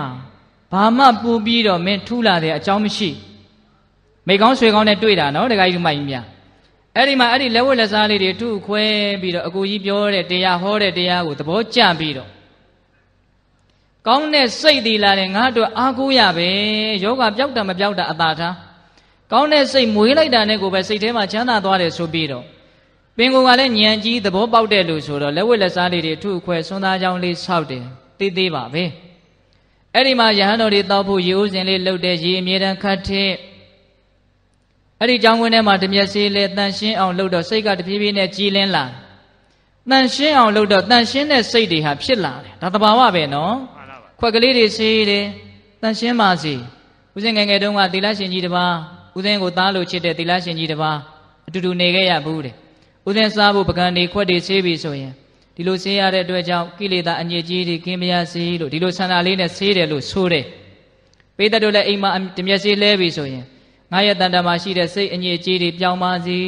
ဒီစိတ်ကလေးနဲ့လဲရင်မကောင်းဘူးလားကောင်းပါလေဟိုဟာကိုလည်းလှဲပြီးသားဖြစ်တယ်ဒီဟာကိုလည်းလှဲပြီးသားဖြစ်တယ်ကောင်းတယ်မဟုတ်လားကောင်းပါလေ အေးရောဟိနီကအခုအဲ့ဒါလိုလာတယ်တန်ရှင်းစေခြင်းနဲ့စင်ကြယ်စေခြင်းနဲ့အဲ့ဒီစိတ်တွေကတဖြည်းဖြည်းနဲ့စုမိဆောင်းမိဒုနဲ့ဒေနဲ့ဖြစ်လာတော့အနာယောဂါတွေတဖြည်းဖြည်းနဲ့တန်ရှင်းလာတယ်အကြည်ပြားဟာတဖြည်းဖြည်းနဲ့ကောင်းလာတယ်ပိတတို့ခေတ်လူတွေပါစိတ်ရဲ့စွမ်းအင်ဆိုတာစမ်းကြဲတယ်နော်စမ်းကြည့်စိတ်ကြောင့်ယောဂါတွေဖြစ်နိုင်တယ်ဆိုတာလက်ခံလားလက်ခံပါဆိုင်ယောဂဖြစ်နိုင်တယ်ရေပြားယောဂဖြစ်နိုင်တယ် မလေးဥစဉ်သာတောင်တစ်တောင်တည်းဆိုဖတ်ဖူးတယ်ဒီစိတ်ကြောင့်ဖြစ်နိုင်တဲ့ယောဂတွေတန်းရေးထားတာကြောက်ကြောက်เสียကောင်းသေးတယ်စိတ်ကြောင့်ယောဂဖြစ်စေတယ်ဆိုတဲ့စကားကိုယုံနေဆိုရင်စိတ်ကြောင့်ယောဂပျောက်စေတယ်ဆိုတဲ့စကားဟာလည်းယုံရလိမ့်မယ်ဟုတ်လားတခါကြီးမိုင်းမြ ဟုတ်ပါတယ်ဗျာ ဖြစ်စေတယ်ဆိုရင်စိတ်ရဲ့ဖြစ်စေတဲ့အကြောင်းကိုဖယ်လိုက်ရင်ပျောက်စေတဲ့အကြောင်းဟာအလိုလိုဖြစ်တယ်မဟုတ်လား ဖြစ်ပါတယ် ဟင်တခါကြီးမိုင်းမြ ဖြစ်ပါတယ် အေးပိဋကတ်တို့ဉာဏ်ရှိတယ်နော် ဒါကြောင့်ရောဟိနီဒီကောင်းတဲ့စိတ်တွေစုဆောင်းမိပြီဆိုတော့ဘာဖြစ်သွားလဲနုနာယောဂဟာပျောက်သွားတယ်အဲ့ဒီလိုကံမျိုးကိုဒိဋ္ဌဓမ္မဝေဒနိယကံလို့ခေါ်တယ်ကောင်းသောစိတ်ဒီမသေးခင်မှာပဲမင်းဘာမှအားမငယ်နဲ့မင်းဘက်ကငါရှိတယ်ဒီလိုကိုယ့်ရဲ့ဘက်ကနေဘာဖြစ်နေတာလဲရက်တီပေးတာဟုတ်လားတခါကြီးမိုက်မြဟုတ်ပါတယ်ဗျာဒါကြောင့်အဲ့ဒီရောဟိနီဟာသေဆုံးသွားတော့လည်းပဲနတ်ပြည်ကိုရောက်တယ်လို့ဆိုတယ်။ တရားမင်းကြီးတောင်လူယူရတယ်လို့ဆိုတယ်။အဲ့ဒါတွေပြောရင်လူရင်းစကားတွေမပြောရမှာဆိုလို့ဓမ္မပဒကိုရှားပြီးတော့ကိုဟာကိုယ်သာဖတ်ကြတော့လို့တရားကိုအဲ့ဒါလိုပဲရောဟိနီအကြောင်းကိုဏီကုန်းချုပ်ရမယ်။ဟုတ်လားတခါကြီးမိုက်မြတ်မှန်လားပါ။အေးပြောချင်တာကပါလေကောင်းသောစိတ်သည်မသေးခင်မှာအကျိုးပေးတယ်။ဒါလေးကိုပြောချင်တာ။ဟုတ်လားတခါကြီးမိုက်မြတ်ဟုတ်ပါတယ်ဗျာ။အေး။ကဲကောင်းသောစိတ်သည်တန်တရားတစ်လျှောက်လုံးလိုက်မယ်။ဘာတဖွဲလဲအရေးတဖွဲဟုတ်လား ကောင်းသောစိတ်သည်တန်တရားတစ်လျှောက်လုံးလိုက်မယ်ဦးဇင်းတို့မြတ်စွာဘုရားယရဏတုတ်တံကိုဟောတော့ဘယ်မှာဟောတာလဲဝေသာလီပြီပေတတ်တို့ကိုနှိမ့်ဆက်နေတာမဟုတ်ဘူးနော်မေးတာကဟုတ်လားဘဟုတုဒ္ဒလေးတွေကိုဘုန်းကြီးတွေကမေးတတ်တယ်မှတ်ထားအောင်မဆိုတဲ့စိတ်ကလေးရှိအောင်မေးတာဘာမှမပြောနိုင်ဘူးတို့ကိုဘုန်းကြီးကပြင်ပေါ်ကနေအနိုင်ကျင့်နေတာလို့မြင်မအောင်မေးလေနဲ့ဟုတ်လားဟုတ်ပြီပါယရဏတုတ်ကိုဘယ်မှာဟောတာလဲဝေသာလီပြည်မှာ အဲ့ဒီလိုဝေသာလီပြည်မှာမြတ်စွာဘုရားယတနာတုတ်သွားပြီးတော့ဟောတော့ပြောကျင်တာလေးကဘာလဲဆိုတော့သဲပြူခင်းပြီးတော့ကြိုးဆိုတယ်ရှေ့ယူဇနာခကြီးနဲတာမဟုတ်ဘူးထီးပြူတွေအကုန်ဆောင်းပေးတယ်ဘုရားလောက်ဖိမြတ်စွာဘုရားကိုကြိုးဆိုတဲ့ပွဲဟာသိတ်ခံနာတယ်မြစ်ထဲကိုဖြတ်တော့မြစ်ထဲမှာဖောင်းနေကုန်းပေါ်မှာကြောင်းနေအသီးသီးဆောက်ပေါ်တလန်းလုံးလိုလေသေးမရှိမြတ်စွာဘုရားကိုကြိုးဆိုရေးအဖွဲ့ဟာသိပ်ပြီးတော့ကြီးကျယ်တယ်ရေထဲမှာဆိုငကားတွေကတောင်ထွက်ပြီးတော့မြတ်စွာဘုရားကိုပူဇော်တယ်ဟုတ်လားတခါကြီးမိုက်များ အဲ့ဒီမှာမြတ်စွာဘုရားရဲ့ဒီယတနာတုတ်ကိုသွားဟောတဲ့ခရီးစဉ်ဟာသိခန္ဓာကြီးကျယ်တဲ့ကြိုးဆိုမှုတွေကိုမြင်တော့ယဟန်တော်တွေကအံ့ဩတယ်မြတ်စွာဘုရားရဲ့တကိုးတော်ဟာသိကြီးကျယ်တာပဲကြည်စမ်းအဲ့ဒီစကားမြတ်စွာဘုရားကြားတယ်ကြားတော့မြတ်စွာဘုရားကချစ်သားတို့အဲ့ဒါငါရဲ့တကိုးမဟုတ်ဘူးတဲ့ဣတိတ်ပါတယ်လေငါရဲ့တကိုးမဟုတ်ဘူးအဲ့ဒါကုသိုလ်ရဲ့အစွမ်းတဲ့ ကောင်းတဲ့စိတ်ကလေးရဲ့အစွမ်းတဲ့ဖရာတကိုးတော်ရဲ့အစွမ်းလားကုသိုလ်ရဲ့အစွမ်းလားကုသိုလ်ရဲ့အစွမ်းဘယ်တော့မှလုပ်ခဲ့တဲ့ကုသိုလ်လေတန်တရားတစ်လျှောက်လုံးလိုက်ပုံလေးကိုတာတကထုတ်ပြနေတာနော်တခါကြီးမိုင်များဘယ်တော့မှလုပ်ခဲ့တဲ့ကုသိုလ်လေတခုသောဘဝဦးဇင်းတို့ဘုရားလောင်ပုံနာကြီးတယောက်ဖြစ်တယ်သူ့မှာသားလေးတယောက်ရှိတယ်အဲ့ဒီသားလေးကသူတိမဉာဏ်ပညာအင်မတန်ထက်တယ် ပညာတတ်ဖြစ်စေခြင်းတာနဲ့အဲ့ဒီသူတိမကိုဘုရားလောင်းကအရက်တစ်ပါးကိုပညာသင်လွှတ်တယ်အဲ့ဒီလိုပညာသင်လွှတ်တဲ့အခါကျတော့သားလေးကကြိုးစားပြီးတော့ပညာသင်တယ်ရှေးခေတ်ကဗေဒင်သုံးပုံဆိုတာမျိုးတွေပေါ့အဲ့ဒါနဲ့သူသင်တဲ့ပညာတွေကိုကြည့်တော့ပညာတွေကအစပဲရှိတယ်အဆုံးမရှိဘူးဒါလေးကိုစဉ်းစားတယ်နော်တခါကြီးဒီမိုင်းများဗါတဲ့လေအစပဲရှိတယ်အဆုံးမရှိဘူးအဆုံးမရှိတဲ့ကိစ္စဟာဘယ်နည်းနဲ့မှမကောင်းနိုင်ဘူး အဲ့ဒါနဲ့သူကသူ့ဆရာကိုမေးတယ်ဆရာတို့ပညာကအစပဲရှိတယ်အဆုံးမရှိဘူးအဆုံးကတော့ငါမသိဘူးကွာတဲ့ဆရာကလည်းယူသားပါတယ်တောထဲမဲ့သတင်းသုံးနေတဲ့ပြည့်စေကဗုဒ္ဓအရှင်မြတ်တွေကတော့သူတို့ဘဝတန်တရားရဲ့အဆုံးကိုသူတို့သိတယ်လို့ပြောတာပဲမင်းအဆုံးကိုသိကျင်တော့သူတို့ကိုသွားမေးကြည့်ခုဒကာသမားတို့ဦးဇင်းတို့ရဲ့ဒုက္ခတွေဆုံးပြီလားမဆုံးသေးဘူးဒီဘဝပြီးရင်ကောအေးမှာလား မအေးသေးဘူးဘဝကိုမမောတဲ့စိတ်ရှိရင်ဘဝဆိုတာဆက်ပြီးတော့ဖြစ်နေဦးမှာပဲဖြစ်နေရင်ဘဝနဲ့ပတ်သက်တွေကပတ်သက်တဲ့ဒုက္ခတွေကတွေ့နေဦးမှာပဲအဲ့တော့ဆုံးပြီလားမဆုံးသေးဘူးမဆုံးသေးဘူးဆက်ခါဆက်ခါလေမန်းနှက်ခမ်းပေါ်မှာပေါ့စိတ်ကလေးရှောင်းနေတယ်လို့မျိုးဖင်သားလေးကသူ့အစာမှလည်းမသိဘူးဆုံးလည်းမဆုံးဘူးသွားနေတယ်တွေးတတ်မယ်ဆိုရင်စိတ်ပြက်เสียကောင်းတယ်လို့ထင်တယ်အဲ့ဒါသူတိမလူလင်ကအဆုံးကိုရှာတာ အဲ့ဒါပြည့်စေကဗုဒ္ဓရှင်မြတ်တွေကိုမေးတယ်ရှင်ဘုရားတို့အဆုံးသိလားသိတာပေါ့တပည့်တော်ကိုသင်ပေးဖေရငါတို့လို့ဝစ်နိုင်ရင်သင်ပေးမယ်အဲ့ဒါနဲ့သူဝစ်လိုက်တယ်ဝစ်တော့အဲ့ဒီမှာသူတိမလူလင်ဟာရှင်ရသိရှင်ရဟန်းပြုတ်ပြီးတော့အဲ့ဒီမှာတရားကိုကြိုးစားတော့သူပြည့်စေကဗုဒ္ဓဖြစ်တယ်ပြည့်စေကဗုဒ္ဓဖြစ်တော့အဆုံးကိုသူသိလို့သူ့ရဲ့ဒုက္ခတွေဟာဒုက္ခစက်ကြီးဟာရက်သွားတယ် ဒုက္ခမီးတောက်ကြီးဟာငြိမ့်သွားတယ်အဲ့ဒါအသက်ကတိတ်တိတ်ပြီးတော့မရှိဘူးဗျ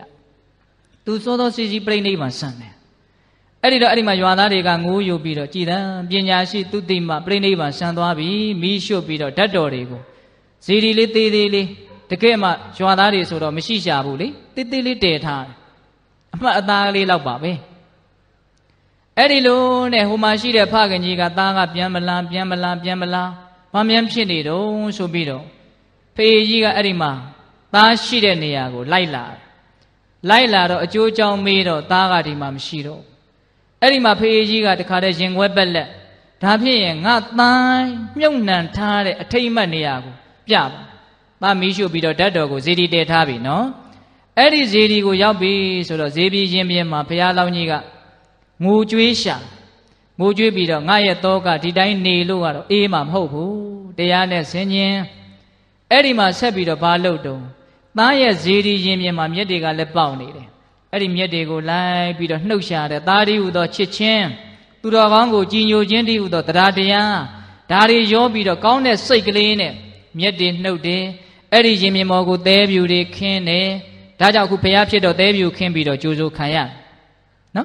သဲပြူခင်းတယ်မြက်တွေနှုတ်တယ်တန့်ရှင်းတယ်စင်ကြယ်အောင်လုပ်တယ်အဲ့ဒါနဲ့ဇေဒီကိုကြည့်လိုက်တော့ဩငါသားရဲ့ဇေဒီကို နေဘူးတွေကမနှိမ့်ဆက်ပါစေနဲ့မိုးပေါက်တွေကမနှိမ့်ဆက်ပါစေနဲ့မေတ္တာတရားနဲ့အဓိပ္ပာယ်ရှိရှိအဲ့ဒီဇေဒီပေါ်မှာသူဆောင်းခဲ့တဲ့ထီးအိုကလေးပိတရေထီးတောင်အစ်စ်မဟုတ်ဘူးဗာလဲအိုကလေးအဲ့ဒီထီးအိုကလေးကိုဘယ်မှာဆောင်းပေးတာတော့ရေဒီပေါ်မှာဆောင်းပေးတာ မြင်ရတာကတော့အနှုတ်ဆုပ်ဂုတ်ဆုပ်ပဲမျက်နှုတ်တယ်သဲခင်းတယ်ထီးအိုကလေးကိုဆောင်းပေးတယ်ဒါပဲဒါပေမဲ့စိတ်ထဲကတော့တိတ်ပြီးတော့မွန်မြတ်တယ်ကြည်နူးစရာကောင်းတယ်ပေတရေကုသိုလ်ဆိုတာစိတ်ထဲမှာဖြစ်တာဟုတ်လားတခါကြီးမိုင်းမြရိုးရိုးလေးနော်ကုသိုလ်ဆိုတာဘာလဲစိတ်ထဲမှာဖြစ်တာအကုသိုလ်ဆိုတာကရောစိတ်ထဲမှာဖြစ်အတာင်းစိတ်ထဲမှာဖြစ်တာအဲ့ဒီစိတ်ထဲမှာဖြစ်တဲ့ကုသိုလ်အကုသိုလ်ကလူကိုခြေလဲနေတာပဲ အပေါ်ယံအပြင်မမှာဖြစ်တဲ့ကိစ္စတွေကလူမြင်တာပဲရှိတယ်သိပ်ပြီးတော့အရေးပါတာမဟုတ်ဘူးသို့တော့လူတွေကအရေးပါတာကိုအာယုံစိုက်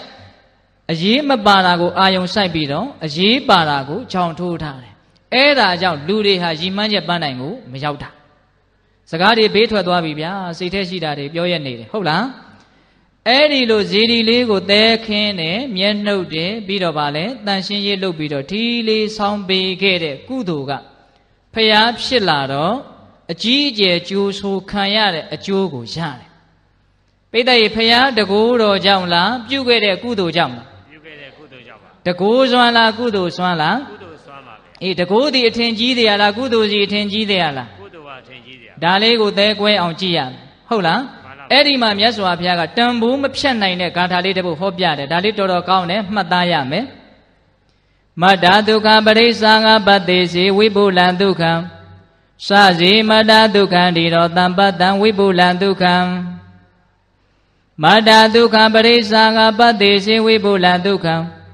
မတ္တဒုက္ခတိုင်းတာ၍ရသောချမ်းသာဒုက္ခကို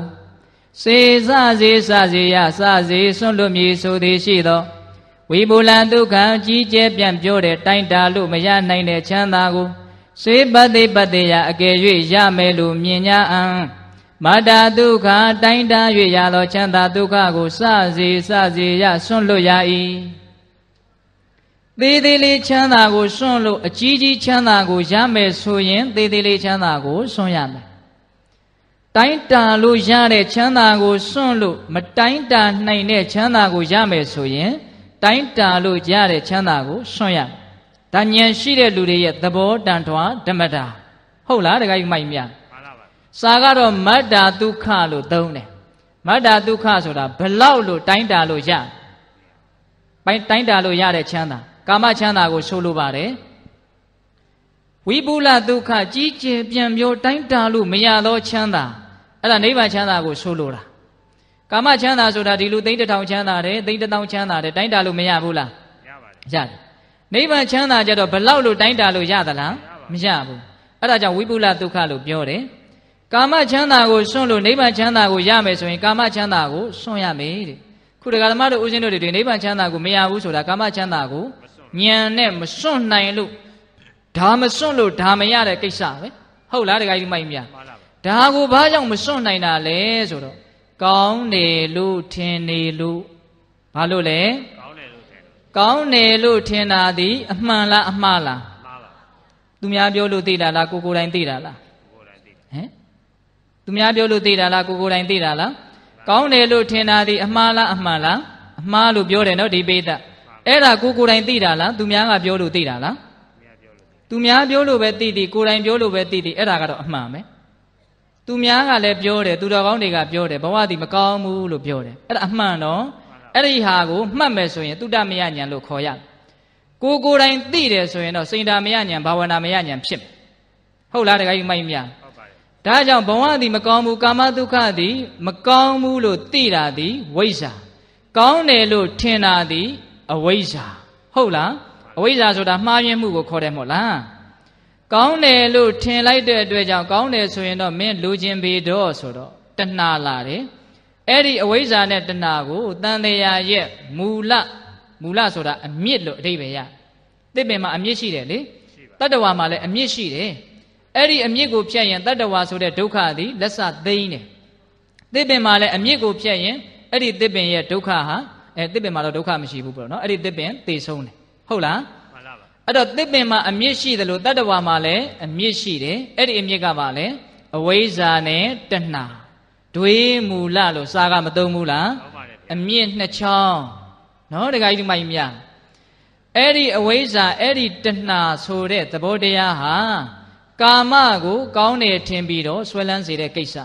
ဒါကြောင့်အဲ့ဒါကိုမစွန့်နိုင်လို့ဟိုဘက်ကနိဗ္ဗာန်ချမ်းသာကိုမရတာဟုတ်လားတခါကြီးမိုက်မြဟုတ်ပါတယ်ဒါကြောင့်ဒီမှာဒီဂါထာလေးကသိကောင်းပါတယ်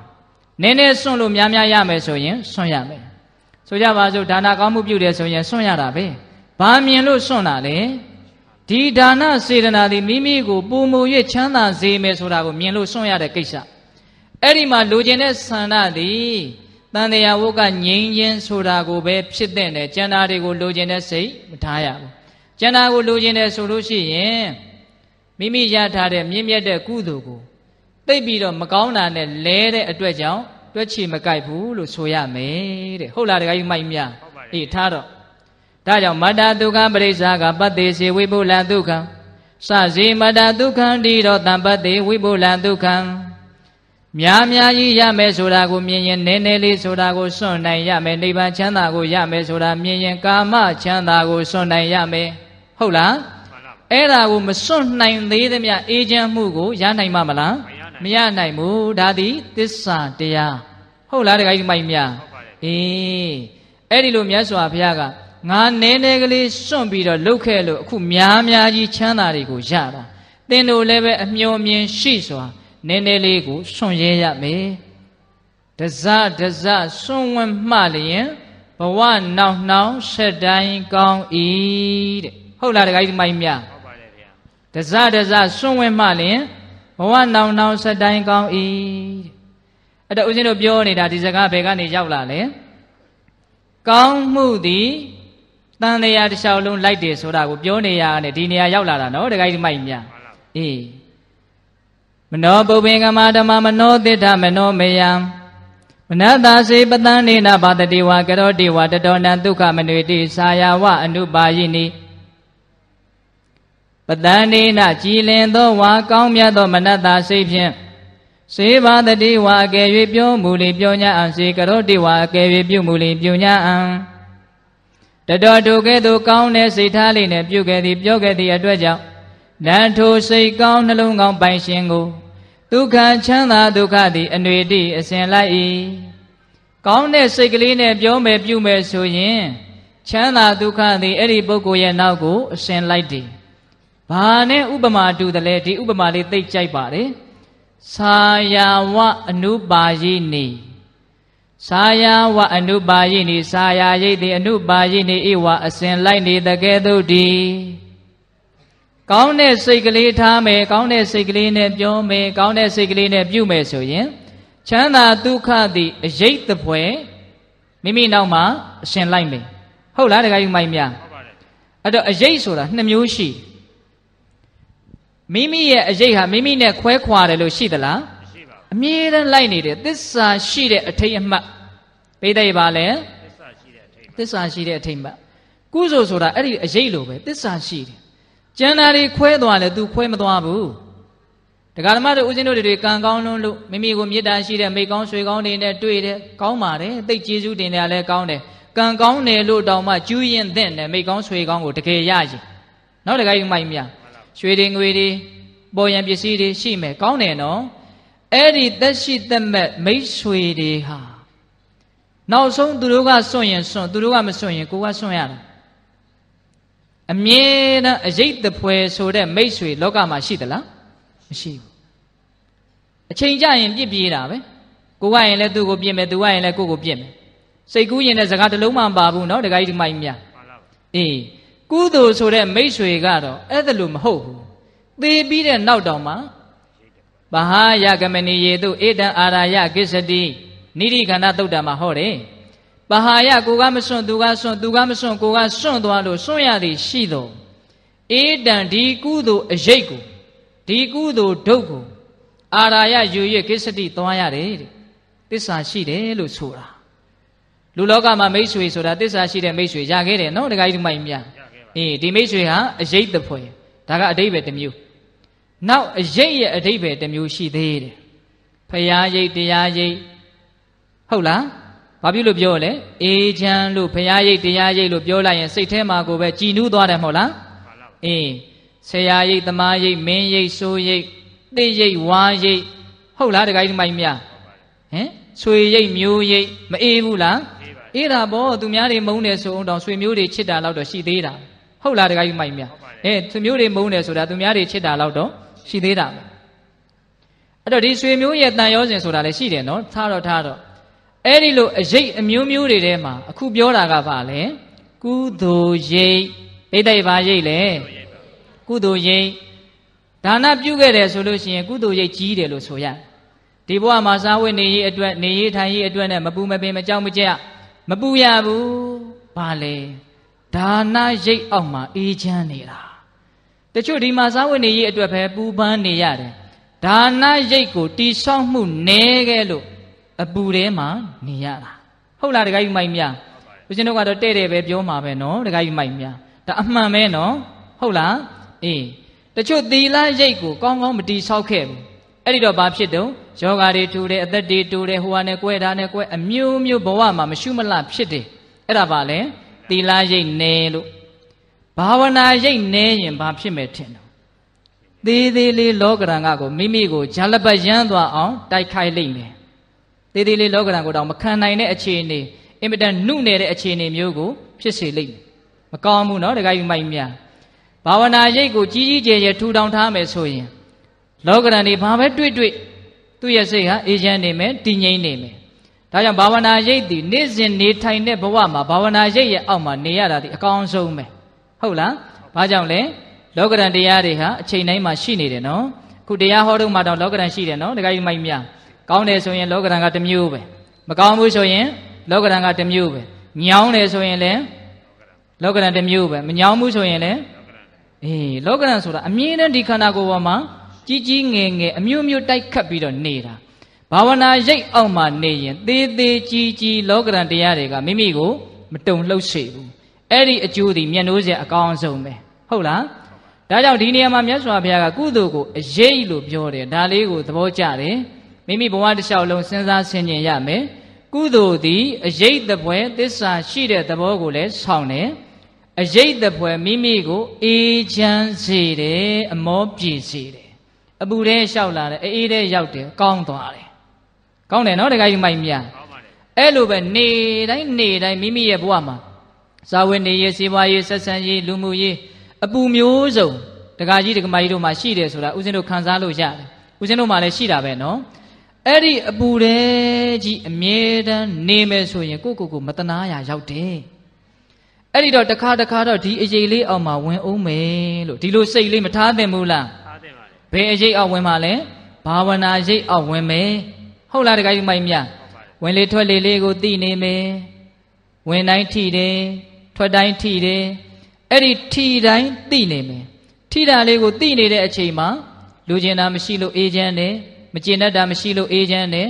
မသိတာမရှိလို့အေးချမ်းတယ်ပူစရာတွေကိုမတွေးမိလို့အေးချမ်းတယ်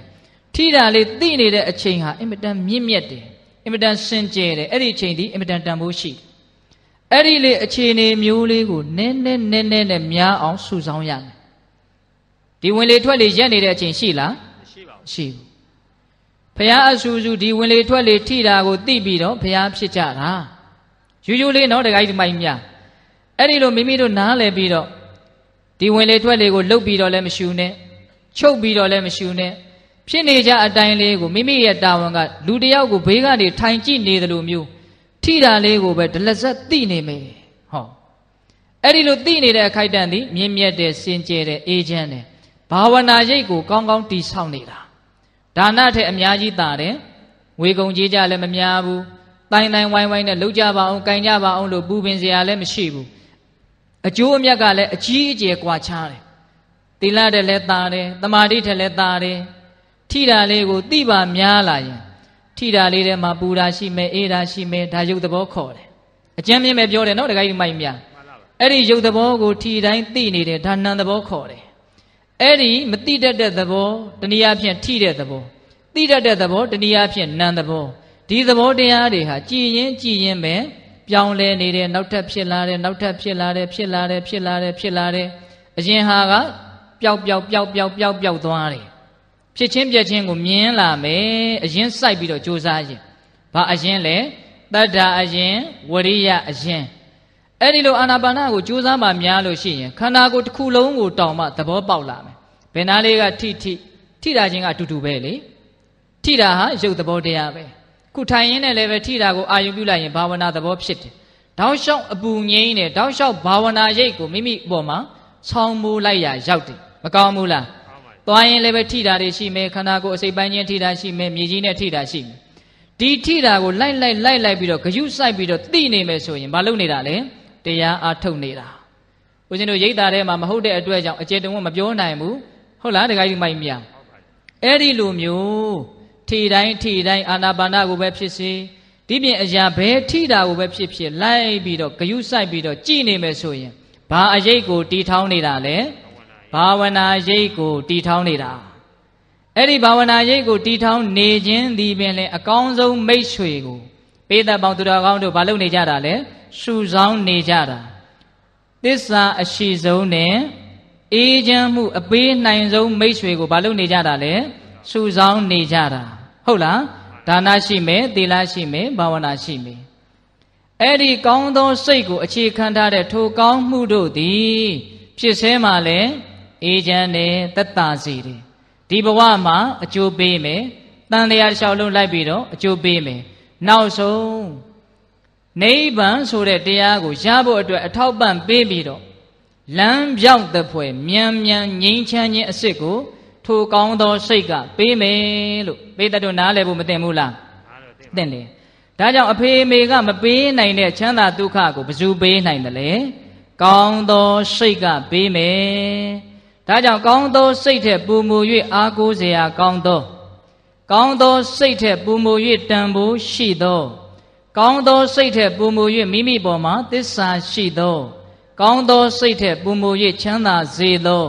အရာအခြားမရှိဘူးလို့နားလည်ရဟုတ်လားတခါကြီးမိုက်မြတ်မှန်လားဒါကြောင့်အကောင်းဆုံးမိတ်ဆွေဆိုတာဘာလဲ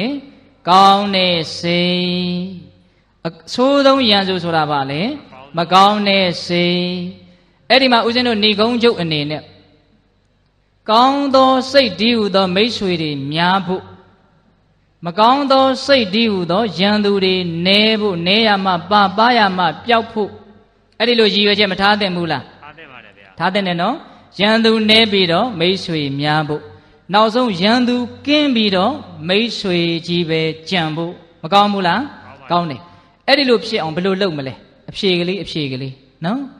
အဲ့ဒီလိုဖြစ်အောင်ဘာဝနာရိတ်ကိုဦးစားပေးပြီးတော့ထူထောင်ပါဟုတ်လားတခါကြီးမိုက်မြဟုတ်ပါတယ်ဗျာနော်မဲ့ခင်ရှင်ပါးကိုကြိုးစားပြီးတော့ပွားများပါစိတ်ဓာတ်တွေစင်ကြယ်လို့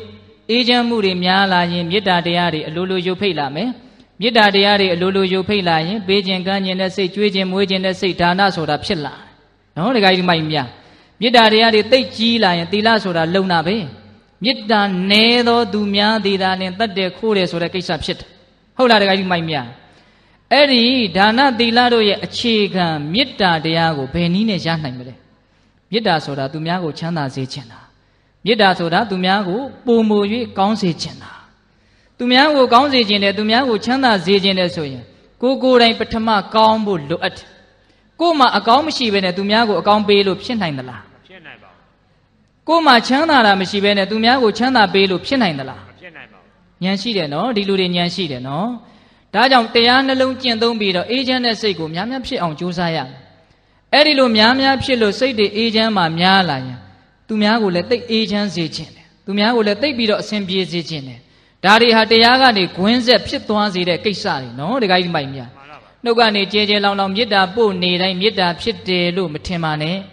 ဝစီကံမေတ္တာတော့ဖြစ်ခြင်းဖြစ်မယ်စိတ်ကတခြားတစ်ပါးကိုရောက်နေတယ်ဆိုရင်မေတ္တာစိတ်ဖြစ်သလားမဖြစ်ပါဘူးတတ္တဝါအလုံးချမ်းသာပါစေလို့ဗဇက်ကတော့ဆိုတယ်သို့တော့တကယ်တမ်းတတ္တဝါအလုံးလို့တကယ်ဟုတ်သလားဟုတ်ပါကိုမုန်းတဲ့လူတကယ်ပါသလားပါပါကိုမုန်းတဲ့လူကိုတကယ်ကောင်းစေခြင်းတဲ့စိတ်ကို့မှာတကယ်ရှိသလားရှိတယ်ဆိုရင်တော့ဝမ်းမြောက်ဖို့ပါပဲ ကိုမဟုတ်တာကိုမဟုတ်မှန်းသိဖို့တိတ်အရေးကြီးတယ်နော်တခိုက်ထမိုင်များမှန်လားပါကိုကိုကိုမလိမ်မညာဖို့လည်းအင်မတန်အရေးကြီးပါတယ်မုန်းတဲ့လူကိုငါကောင်းစေခြင်းတဲ့စိတ်မရှိသေးဘူးဆိုရင်လည်းမရှိသေးဘူးလို့မှန်မှန်သိဖို့လိုအပ်တယ်မရှိတာကြီးကိုရှိတယ်လို့ထင်ပြီးတော့ငါဘယ်သူဖြစ်ဖြစ်ကောင်းစေခြင်းနဲ့တကယ်လည်းဟုတ်တာမဟုတ်ဖဲနဲ့ဟုတ်လားတခိုက်ထမိုင်များဟုတ်ပါတယ်ဗျာအေး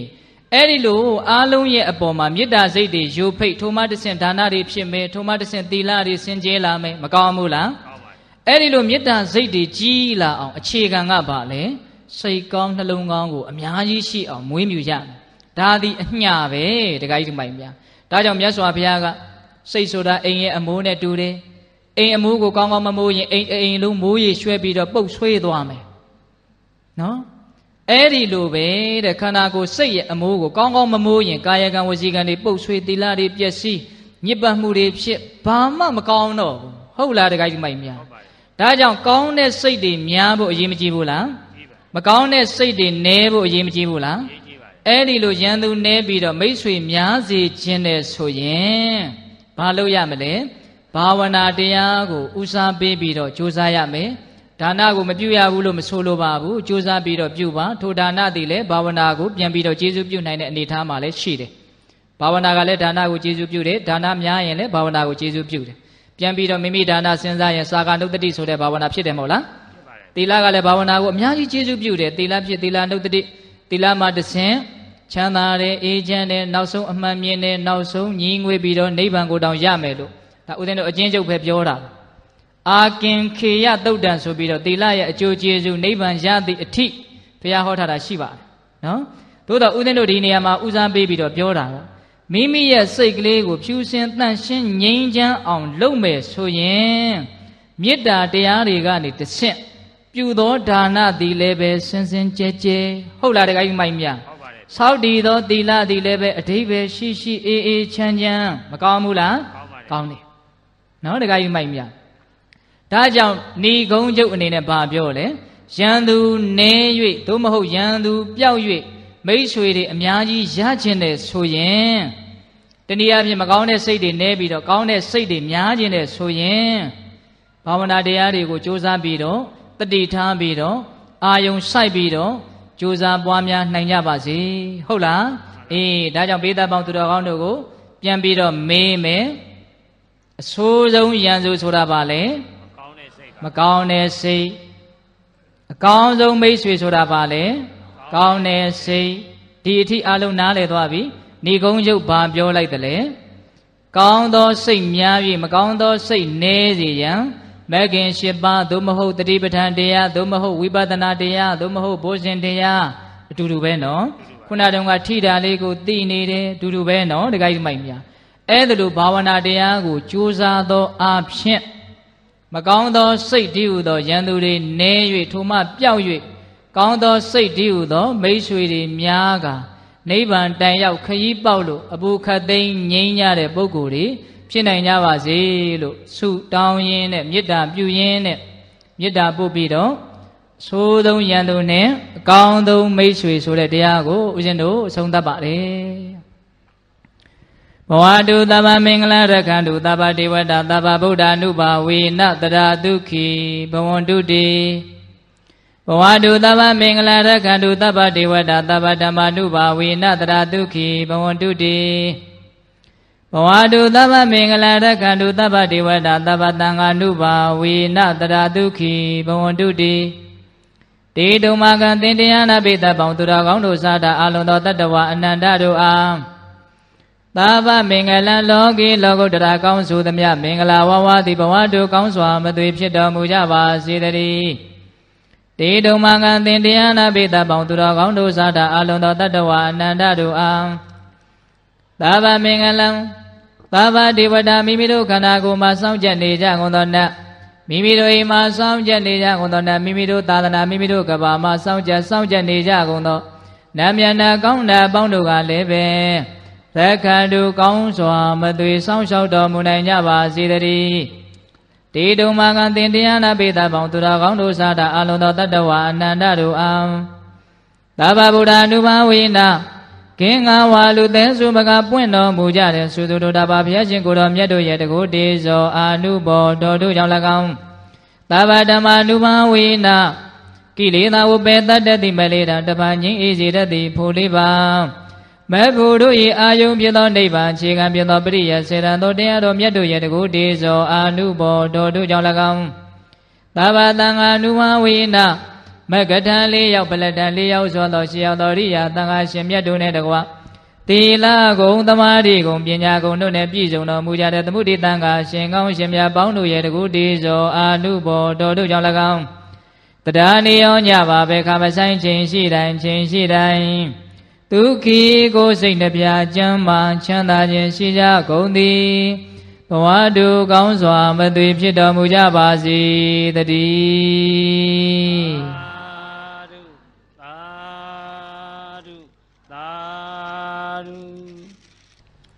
ဦးဇင်းတို့အားလုံးပိဋကပေါင်းသူတော်ကောင်းတို့တန်ရှင်းစင်ကြယ်တဲ့ကုသိုလ်ကောင်းမှုတည်းဟုသောမိမိရဲ့အာကိုရာအစစ်မှန်ကိုမိမိတို့ရဲ့ကံစွမ်းဉာဏ်စွမ်းဝိရိယစွမ်းအားလျော်စွာ ပြုလုပ်လို့ပြီးကြပါပြီအဲ့ဒီရရှိထားတဲ့ကုသိုလ်ကောင်းမှုတည်းဟုသော